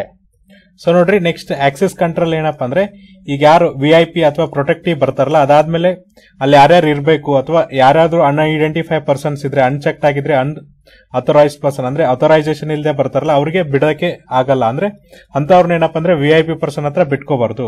ಹಾಗಾಗಿ ಇಲ್ಲಿ ಆಕ್ಸೆಸ್ ಕಂಟ್ರೋಲ್ ಅಂದ್ರೆ ಒಬ್ಬ ವಿ ಐ ಪಿ ಪರ್ಸನ್ಸ್ ಬಂದ್ಮೇಲೆ ಯಾರಿಗೆಲ್ಲ ಬಿಡಬೇಕು, ಯಾರಿಗೆಲ್ಲ ಬಿಡಬಾರ್ದು. ಯಾವುದೇ ತರನಂತ ಅನ್ಐಡೆಂಟಿಫೈ ಅಂದ್ರೆ ಗೊತ್ತಿಲ್ಲದೆ ಇರುವಂತ, ಯಾರು ಯಾರಿಗೂ ಚೆಕ್ ಮಾಡದೇ ಇರುವಂತ, ಆಮೇಲೆ ಯಾವುದೇ ಅನ್ಅಥರೈಸ್ ಪರ್ಸನ್ಗೆ ಏನಪ್ಪ ಅಂದ್ರೆ ಅಲ್ಲಿ ಅಲೌ ಮಾಡೋದಿಲ್ಲ. ಏನು ಫಂಕ್ಷನ್ ಆಗ್ತಿರುತ್ತಲ್ಲ, ಅಲ್ಲಿ ಅಲೌ ಮಾಡೋದಿಲ್ಲ ಅಂತ ಹೇಳ್ತಿದ್ದಾರೆ. ಸೊ ನೋಡ್ರಿ ಅನ್ಐಡೆಂಟಿಫೈಡ್ ಅಂದ್ರೆ ಏನಪ್ಪ ಅಂದ್ರೆ, ಆ ಪರ್ಸನ್ ಏನಪ್ಪ ಅಂದ್ರೆ ಯಾವುದೇ ತರನಾಗಿ ಪರ್ಮಿಟ್ ಅನ್ನ ಮಾಡಿರಲ್ಲ ಅಂತವ್ರಿಗೆ ಏನಂತ ಕರೀತಾರೆ ಅಂದ್ರೆ ಅನ್ಐಡೆಂಟಿಫೈ ಅಂತ ಕರೀತಾರೆ. ಸೊ ನೋಡ್ರಿ, ಅವರ ಒಂದು ಎಕ್ಸಾಂಪಲ್ ಅನ್ನ ಕೊಡ್ತಾರೆ. ಬುಲೆಟ್, ಏನಪ್ಪ ಅಂದ್ರೆ ಜರ್ಮನ್ ಚಾನ್ಸಲರ್ ಇರ್ತಾರಲ್ಲ ಅವ್ರು ಏನಪ್ಪ ಅಂದ್ರೆ ಹೈದರಾಬಾದ್ಗೆ ವಿಸಿಟ್ ಮಾಡ್ತಿರ್ತಾರೆ. ಅವ್ರಿಗೆ ಏನಂದ್ರೆ ಈಗ ಬುಲೆಟ್ ಪ್ರೂಫ್ ಕಾರ್ ಬೇಕಾಗಿರುತ್ತೆ. ಬಟ್, ಕೇಂದ್ರ, ರಾಜ್ಯ ಸರ್ಕಾರದ ಕಡೆ ಏನಪ್ಪ ಅಂದ್ರೆ ಬುಲೆಟ್ ಪ್ರೂಫ್ ಅಂಬಾಸಿಡರ್ಸ್ ಕಾರ್ಸ್ ಇರುತ್ತೆ. ಬಟ್, ಜರ್ಮನಿ ಎಂಬೆಸಿ ಏನ್ ಮಾಡುತ್ತೆ ಅಂದ್ರೆ private bullet proof Benz car ಅನ್ನ ಹೈದರ್ ಮಾಡುತ್ತೆ. ಅದ್ರ ಓನರ್ ಏನಪ್ಪ ಅಂದ್ರೆ ಒಬ್ಬ ಇಂಡಸ್ಟ್ರಿಯಲ್ ಆಗಿಸ್ಟ್ ಇದ್ರು ಕೂಡ ಇದ್ರು ಕೂಡ ಅವ್ರ ಡ್ರೈವರ್ ಇನ್ಫಾರ್ಮೇಶನ್ ಏನಪ್ಪ ಅಂದ್ರೆ ಇವ್ರಿಗೆ ಗೊತ್ತಿರಲ್ಲ. ಅಂದ್ರೆ ಅನ್ಐಡೆಂಟಿಫೈಡ್ ಇರ್ತಾರೆ. ಅದಕ್ಕೋಸ್ಕರ ಏನ್ ಮಾಡ್ತಾರೆ ಅಂದ್ರೆ ಡ್ರೈವರ್ ಅನ್ನ ತಗೊಳ್ಳಲ್ಲ. ಇದಾದ್ಮೇಲೆ ನೆಕ್ಸ್ಟ್ ಸ್ಟೇಟ್ ಅಥಾರಿಟೀಸ್ ಅವ್ರು ಏನ್ ಮಾಡ್ತಾರೆ ಅಂದ್ರೆ ಅವ್ರನ್ನ ಅನ್ಚೆಕ್ ಮಾಡಿ ಬಿಡಕ್ಕಾಗಲ್ಲ. ಅಂದ್ರೆ ಡ್ರೈವರ್ನೇ ಡೈರೆಕ್ಟ್ ಎಂಪ್ಲಾಯ್ಮೆಂಟ್ ಮಾಡಕ್ಕಾಗಲ್ಲ. ಅದಕ್ಕೋಸ್ಕರ ಏನಪ್ಪ ಅಂದ್ರೆ ಒಬ್ಬ ಪೊಲೀಸ್ ಡ್ರೈವರ್ಗೆ ಏನ್ ಬೆಂಚ್ ಕಾರ್ ಓಡ್ಸಕ್ಕೆ ಟ್ರೈನಿಂಗ್ ಅನ್ನ ಕೊಡ್ಬೇಕಲ್ಲ, ಆ ಟ್ರೈನಿಂಗ್ ಅನ್ನ ಕೊಟ್ಟು ಮತ್ತೆ ಏನ್ ಮಾಡ್ತಾರಪ್ಪ ಅಂದ್ರೆ ಅವ್ರಿಗೆ ಡಿಪ್ಲಾಯ್ ಮಾಡ್ತಾರೆ. ಹಾಗಾಗಿ ಒಂದು ವಿ ಐ ಪಿ ಪರ್ಸನ್ ಬರ್ತಾರಂದ್ರೆ ಅವರಿಗೆ ಎರಡು ಕಂಡೀಷನ್ಸ್ ಏನಪ್ಪ ಅಂದ್ರೆ ಒಂದು ಆಂಟಿ ಸಬೋಟೇಜ್ ಚೆಕ್ಸ್ ಮತ್ತೆ ಒಂದು ಆಕ್ಸೆಸ್ ಕಂಟ್ರೋಲ್ ಅಂತ ಹೇಳ್ತಿದ್ದಾರೆ. ಆಮೇಲೆ ನೋಡ್ರಿ ಯಾವುದೇ ಅಂತ ಅನ್ಚೆಕ್ಡ್ ಪೀಪಲ್ ಬಂದ್ರೆ, ಅಂದ್ರೆ ಚೆಕಿಂಗ್ ಆಗದೆ ಬರ್ತಾರಲ್ಲ ಅಂತವರು ಯಾವ್ದಾದ್ರು ಪ್ರೊಟೆಕ್ಟಿ ಅಂದ್ರೆ ವಿ ಐ ಪಿ ಹತ್ರ ಬಿದ್ರೆ, ಬಂದ್ರೆ ಅವ್ರಿಗೂ ಕೂಡ ಏನಪ್ಪ ಅಂದ್ರೆ ಅಲೌ ಮಾಡಲ್ಲ ಅಂತ ಹೇಳ್ತಿದ್ದಾರೆ. ಇನ್ ಕೇಸ್ ಅವ್ರು ಏನಾದ್ರೂ ಅಪಾಯಿಂಟ್ಮೆಂಟ್ ಇದ್ರೂ ಕೂಡ ಏನ್ ಮಾಡ್ತಾರಪ್ಪ ಅಂದ್ರೆ ಅವ್ರಿಗೆ ಅಲೌ ಮಾಡಲ್ಲ ಅಂತ ಹೇಳ್ತಾರೆ. ಅದಕ್ಕೆ ಎಕ್ಸಾಂಪಲ್ ಏನಪ್ಪ ಅಂದ್ರೆ ಐ ಕೆ ಗುಜ್ರಾಲ್ ನಮ್ಮ ಫಾರ್ಮರ್ ಫೈವ್ ಮಿನಿಸ್ಟರ್ ಏನಪ್ಪ ಅಂದ್ರೆ ಒಂದ್ಸರಿ ಆಂಧ್ರ ಪ್ರದೇಶದ ಸ್ಟೇಜ್ ಮಾಡ್ ಸ್ಟೇ ಮಾಡ್ತಿರ್ತಾರೆ.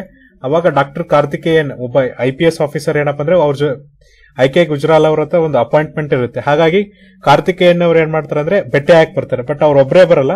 ಅವ್ರ ಜೊತೆಗೆ ಏನಪ್ಪ ಅಂದ್ರೆ C R P F commandant ಅನ್ನ ಕರ್ಕೊಂಡ್ ಬರ್ತಾರೆ. ಬಟ್ ಅವ್ರ ಜೊತೆಗೆ ಏನಪ್ಪ ಅಂದ್ರೆ ಒಂದು ಬೊಕ್ಕೆ ಇರುತ್ತೆ. ಲೋಕಲ್ ಸೆಕ್ಯೂರಿಟಿ ಪರ್ಸನ್ ಅವ್ರು ಏನ್ ಮಾಡ್ತಾರೆ ಅಂದ್ರೆ ಆ ಬೊಕ್ಕೆ ತಂದಂತ ಕಮಾಂಡೆಂಟ್ಗೆ ಬಿಡೋದಿಲ್ಲ. ಯಾಕಂದ್ರೆ ಬೊಕ್ಕೆನೆ ಚೆಕ್ ಮಾಡೇ ಬಿಡಕ್ಕಾಗುತ್ತೆ ಅಂತ ಅವ್ರು ಹೇಳ್ತಾರೆ. ಹಾಗಾಗಿ ಯಾವ್ದಾದ್ರು ಅನ್ಚೆಕ್ಡ್ ಇದ್ರೆ ಕೂಡ ಏನಪ್ಪ ಅಂದ್ರೆ ಬಿಡೋದಿಲ್ಲ ಅಂತ ಹೇಳ್ತಿದ್ದಾರೆ.